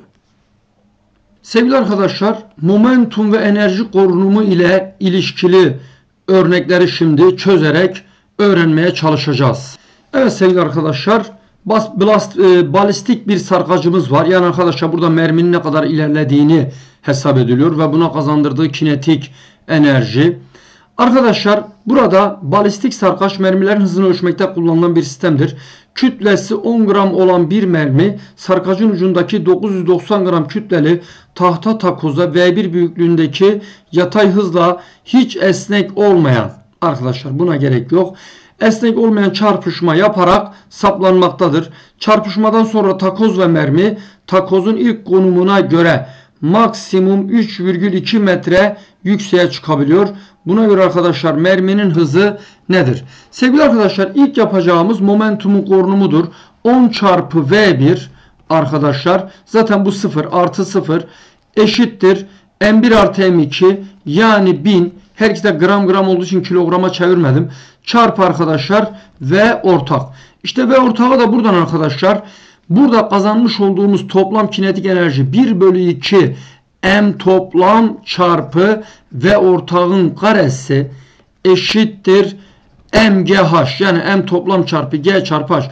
Görüldüğü gibi bu kütle zaten bağlı değil. V kare eşittir 2G H olduğunu biliyoruz. Arkadaşlar V kare eşittir 2G H'ı yerine yaz. 2 çarpı 10 çarpı 3,2 64 görüldüğü gibi 3,2 32 64 64 eşittir V kare buradan arkadaşlar V eşittir 8 metre bölü saniye. Bu nedir arkadaşlar? Ortak hızımız. İşte getirip burada arkadaşlar ortak hızımızın yerine 8 yazalım. Şunlar sadeleşsin. 100 çarpı 8 V1 eşittir 800 metre bölü saniye. Çözelim öğrenelim diyoruz. Özdeş kavele cisimleri boyları birbirine eşit ve L olan iki ipin bağlanarak O noktasına asılmıştır. Cisimler şekildeki konumlardayken K serbest bırakılınca L'ye kütle merkezi doğrultusunda çarpıyor. Yani arkadaşlar geldi geldi geldi ve tam merkezi çarpışma yaptı. Çarpışmadan sonra cisimler kenetlenerek demek ki arkadaşlar birlikte hareket edecekler. Birlikte hareket ettiğine göre iki cisim ne kadar yükselir? O halde arkadaşlar şuradaki çarpma hızına V diyecek olursak M çarpı V eşittir 2M çarpı V ortak. Görüldüğü gibi arkadaşlar M'ler sadeleşiyor. Bu durumda ortak hızımız ne olacaktır arkadaşlar? V bölü 2 diyoruz. Peki arkadaşlar burada kazandığı hız V kare eşittir 2GH. Buradaki H dediğimizde L değil mi? Evet. Peki arkadaşlar burada tekrar kazandığı kinetik enerjiyle ne kadar yükselecek? V bölü 2'nin karesi diyoruz 2GH diyoruz. İşte arkadaşlar burada 2G'ler sadeleşiyor. V kare bölü V kare bölü 4. V kare bölü V kare bölü 4. Sadeleşti. Buradan H eşittir. L bölü 4. Zaten arkadaşlar yükselme miktarı hızın karesiyle orantılı. Bakın V kare eşittir 2G H. Buradan H'ı çekin. H eşittir V kare bölü 2G. E zaten 2G sabit. O halde H V kare ile orantılı. Görüldüğü gibi arkadaşlar L yüksekliğinden gelip V hızını kazanıyorsa V bölü 2 karesi ne oldu? V kare bölü 4. O halde dörtte biri kadar yükselecektir. Gayet güzel bir soru. Evet siz çözün diyor. Düşey şekilde gibi olan yolun 4H ve H yüksekliğindeki K ve M noktalarından farklı zamanlarda serbest bırakılan 2M ve M kütleli cisimler L noktasında çarpışıp kenetleniyor. Buna göre cisimlerin bundan sonraki hareket yönü ve çıkış yüksekliği ne olur? Sevgili arkadaşlar biraz önce dediğimiz gibi V kare eşittir 2GH. İşte arkadaşlar buradan V eşittir kök içerisinde 2GH 4H. Bu durumda H arkadaşlar V kare bölü 2G V ise kök H ile orantılı. Yani arkadaşlar şunun hızına 2V dersek 2V hızıyla geliyor. O halde arkadaşlar H yüksekliğinden geldiği için hızımız ne olur? V olur. Demek ki sevgili arkadaşlar VK'nın karesi eşittir. Bakın 2G 4H VL'nin karesi eşittir. 2G H işte sadeleştiriyoruz. G'ler gidiyor, H'lar gidiyor. VK bölü VL eşittir 2 bölü 1. Yani 2V'ye V. Buradan V kare eşittir 2GH olduğunu unutmayalım. Bu bağıntıyı tekrar kullanacağız. Şimdi arkadaşlar şurada momentumun korunumunu yaparsak sağa doğru artı sola doğru eksi alacağız. P ilk eşittir P son 2M çarpı 2 v 4 MV eksi çünkü arkadaşlar hız eksi oldu. M çarpı V eşittir toplam kütlemiz 3M çarpı V ortak. Sevgili arkadaşlar görüldüğü gibi M'ler sadeleşiyor. Buradan 3V eksi V 4V eksi V 3V eşittir 3V ortak. Görüldüğü gibi arkadaşlar ortak hızımız V. İşte V hızıyla hareket ederse de yüksekliği ne olacaktır? H olacaktır. H eşittir buradan V kare bölü 2G uygulayacağız. Zaten bu sabit. Arkadaşlar eğer hızımız başka bir şey olsaydı şundan taraf tarafa bölüp kıyaslama yapacaktık. O halde ortak kütle birlikte arkadaşlar hangi momentum daha büyük? Tabii ki sağ tarafa. O halde arkadaşlar sağa doğru H kadar yükselir diyoruz. Evet sevgili arkadaşlar çok uzun bir konunun ve videonun son sorusuna geldik. 6 kilogram kütleli K cismi 10 metre bölü saniye hızında hareket ederken 4 kilogram kütleli ve 5 metre bölü saniye büyüklüğündeki hızla hareket eden L cismine şekildeki gibi takılan yaya çarpıyor. Bunları bir yerine yazalım arkadaşlar. Şu 6 kilogram ve hızı 10 4 kilogram ve arkadaşlar hızımız 5. Yay sabiti 1500 Newton bölü metre olduğuna göre yayın sıkışması en çok kaç metre olur? Sevgili arkadaşlar gayet güzel bir soru türü bu. Arkadaşlar P ilk eşittir P son yapacağız ve öncelikle ortak hızı bulacağız. Yani arkadaşlar şuralarda bir yerde yay öyle bir sıkışıyor ki arkadaşlar her ikisinin hızı da işte B ortak oluyor. Yani eşit oluyor. O halde 6 çarpı 10 60 artı 4 çarpı 5 20 bu P ilk eşittir. Toplam kütlemiz 10 çarpı V ortak diyoruz. Sevgili arkadaşlar ne oldu? 80 her iki tarafı 10'a böldük. Ortak hızımız ne oldu sevgili arkadaşlar? 80 bölü 10 8 metre bölü saniye. Peki şimdi bu istediğini yayın sıkışmasını nasıl bulabiliriz? Ne düşünebiliriz? Sevgili arkadaşlar eğer arada yay olmasaydı bu çarpışmadan dolayı kaybolan kinetik enerji ısıya dönüşecekti. Şimdi o enerji yayda depolanan potansiyel enerji. Yani arkadaşlar başlangıçtaki kinetik enerji eşittir. Son durumdaki kinetik enerji artı yayda depo edilen potansiyel enerji diyoruz. Sevgili arkadaşlar Başlangıçta kinetik enerjimiz 1 bölü 2 m dediğimiz ne 6 v kare onun karesi 100 artı 1 bölü 2 m dediğimiz 4 hızın karesi 5'in karesi 25 eşittir. Son durumdaki kinetik enerjimiz 1 bölü 2 toplam kütlemiz 10. Çünkü arkadaşlar 10 kilogramlık kütle 8 metre bölü saniye hızla hareket ediyor. Çarpı 8'in karesi 64 eşit e, artı yaya dönüşen potansiyel enerji 1 bölü 2 k x kare diyoruz sevgili arkadaşlar. İşte sevgili dostlar şu işlemi yaptığımızda şurası ne oldu? 3. 300. Şu işlemi yaptığımız arkadaşlar 250 yani 350 eşittir eşittir arkadaşlar. Şu işlemi yapalım. Şurası 32 olacaktır. 320 eksi 320 olarak geçsin sevgili arkadaşlar. 1 bölü 2 mv kare evet. Doğru yazdık. Şurası 3 300 ve şurası da 50 350. Sevgili arkadaşlar 350 eksi 320 ne yaptı? 30. Eşittir.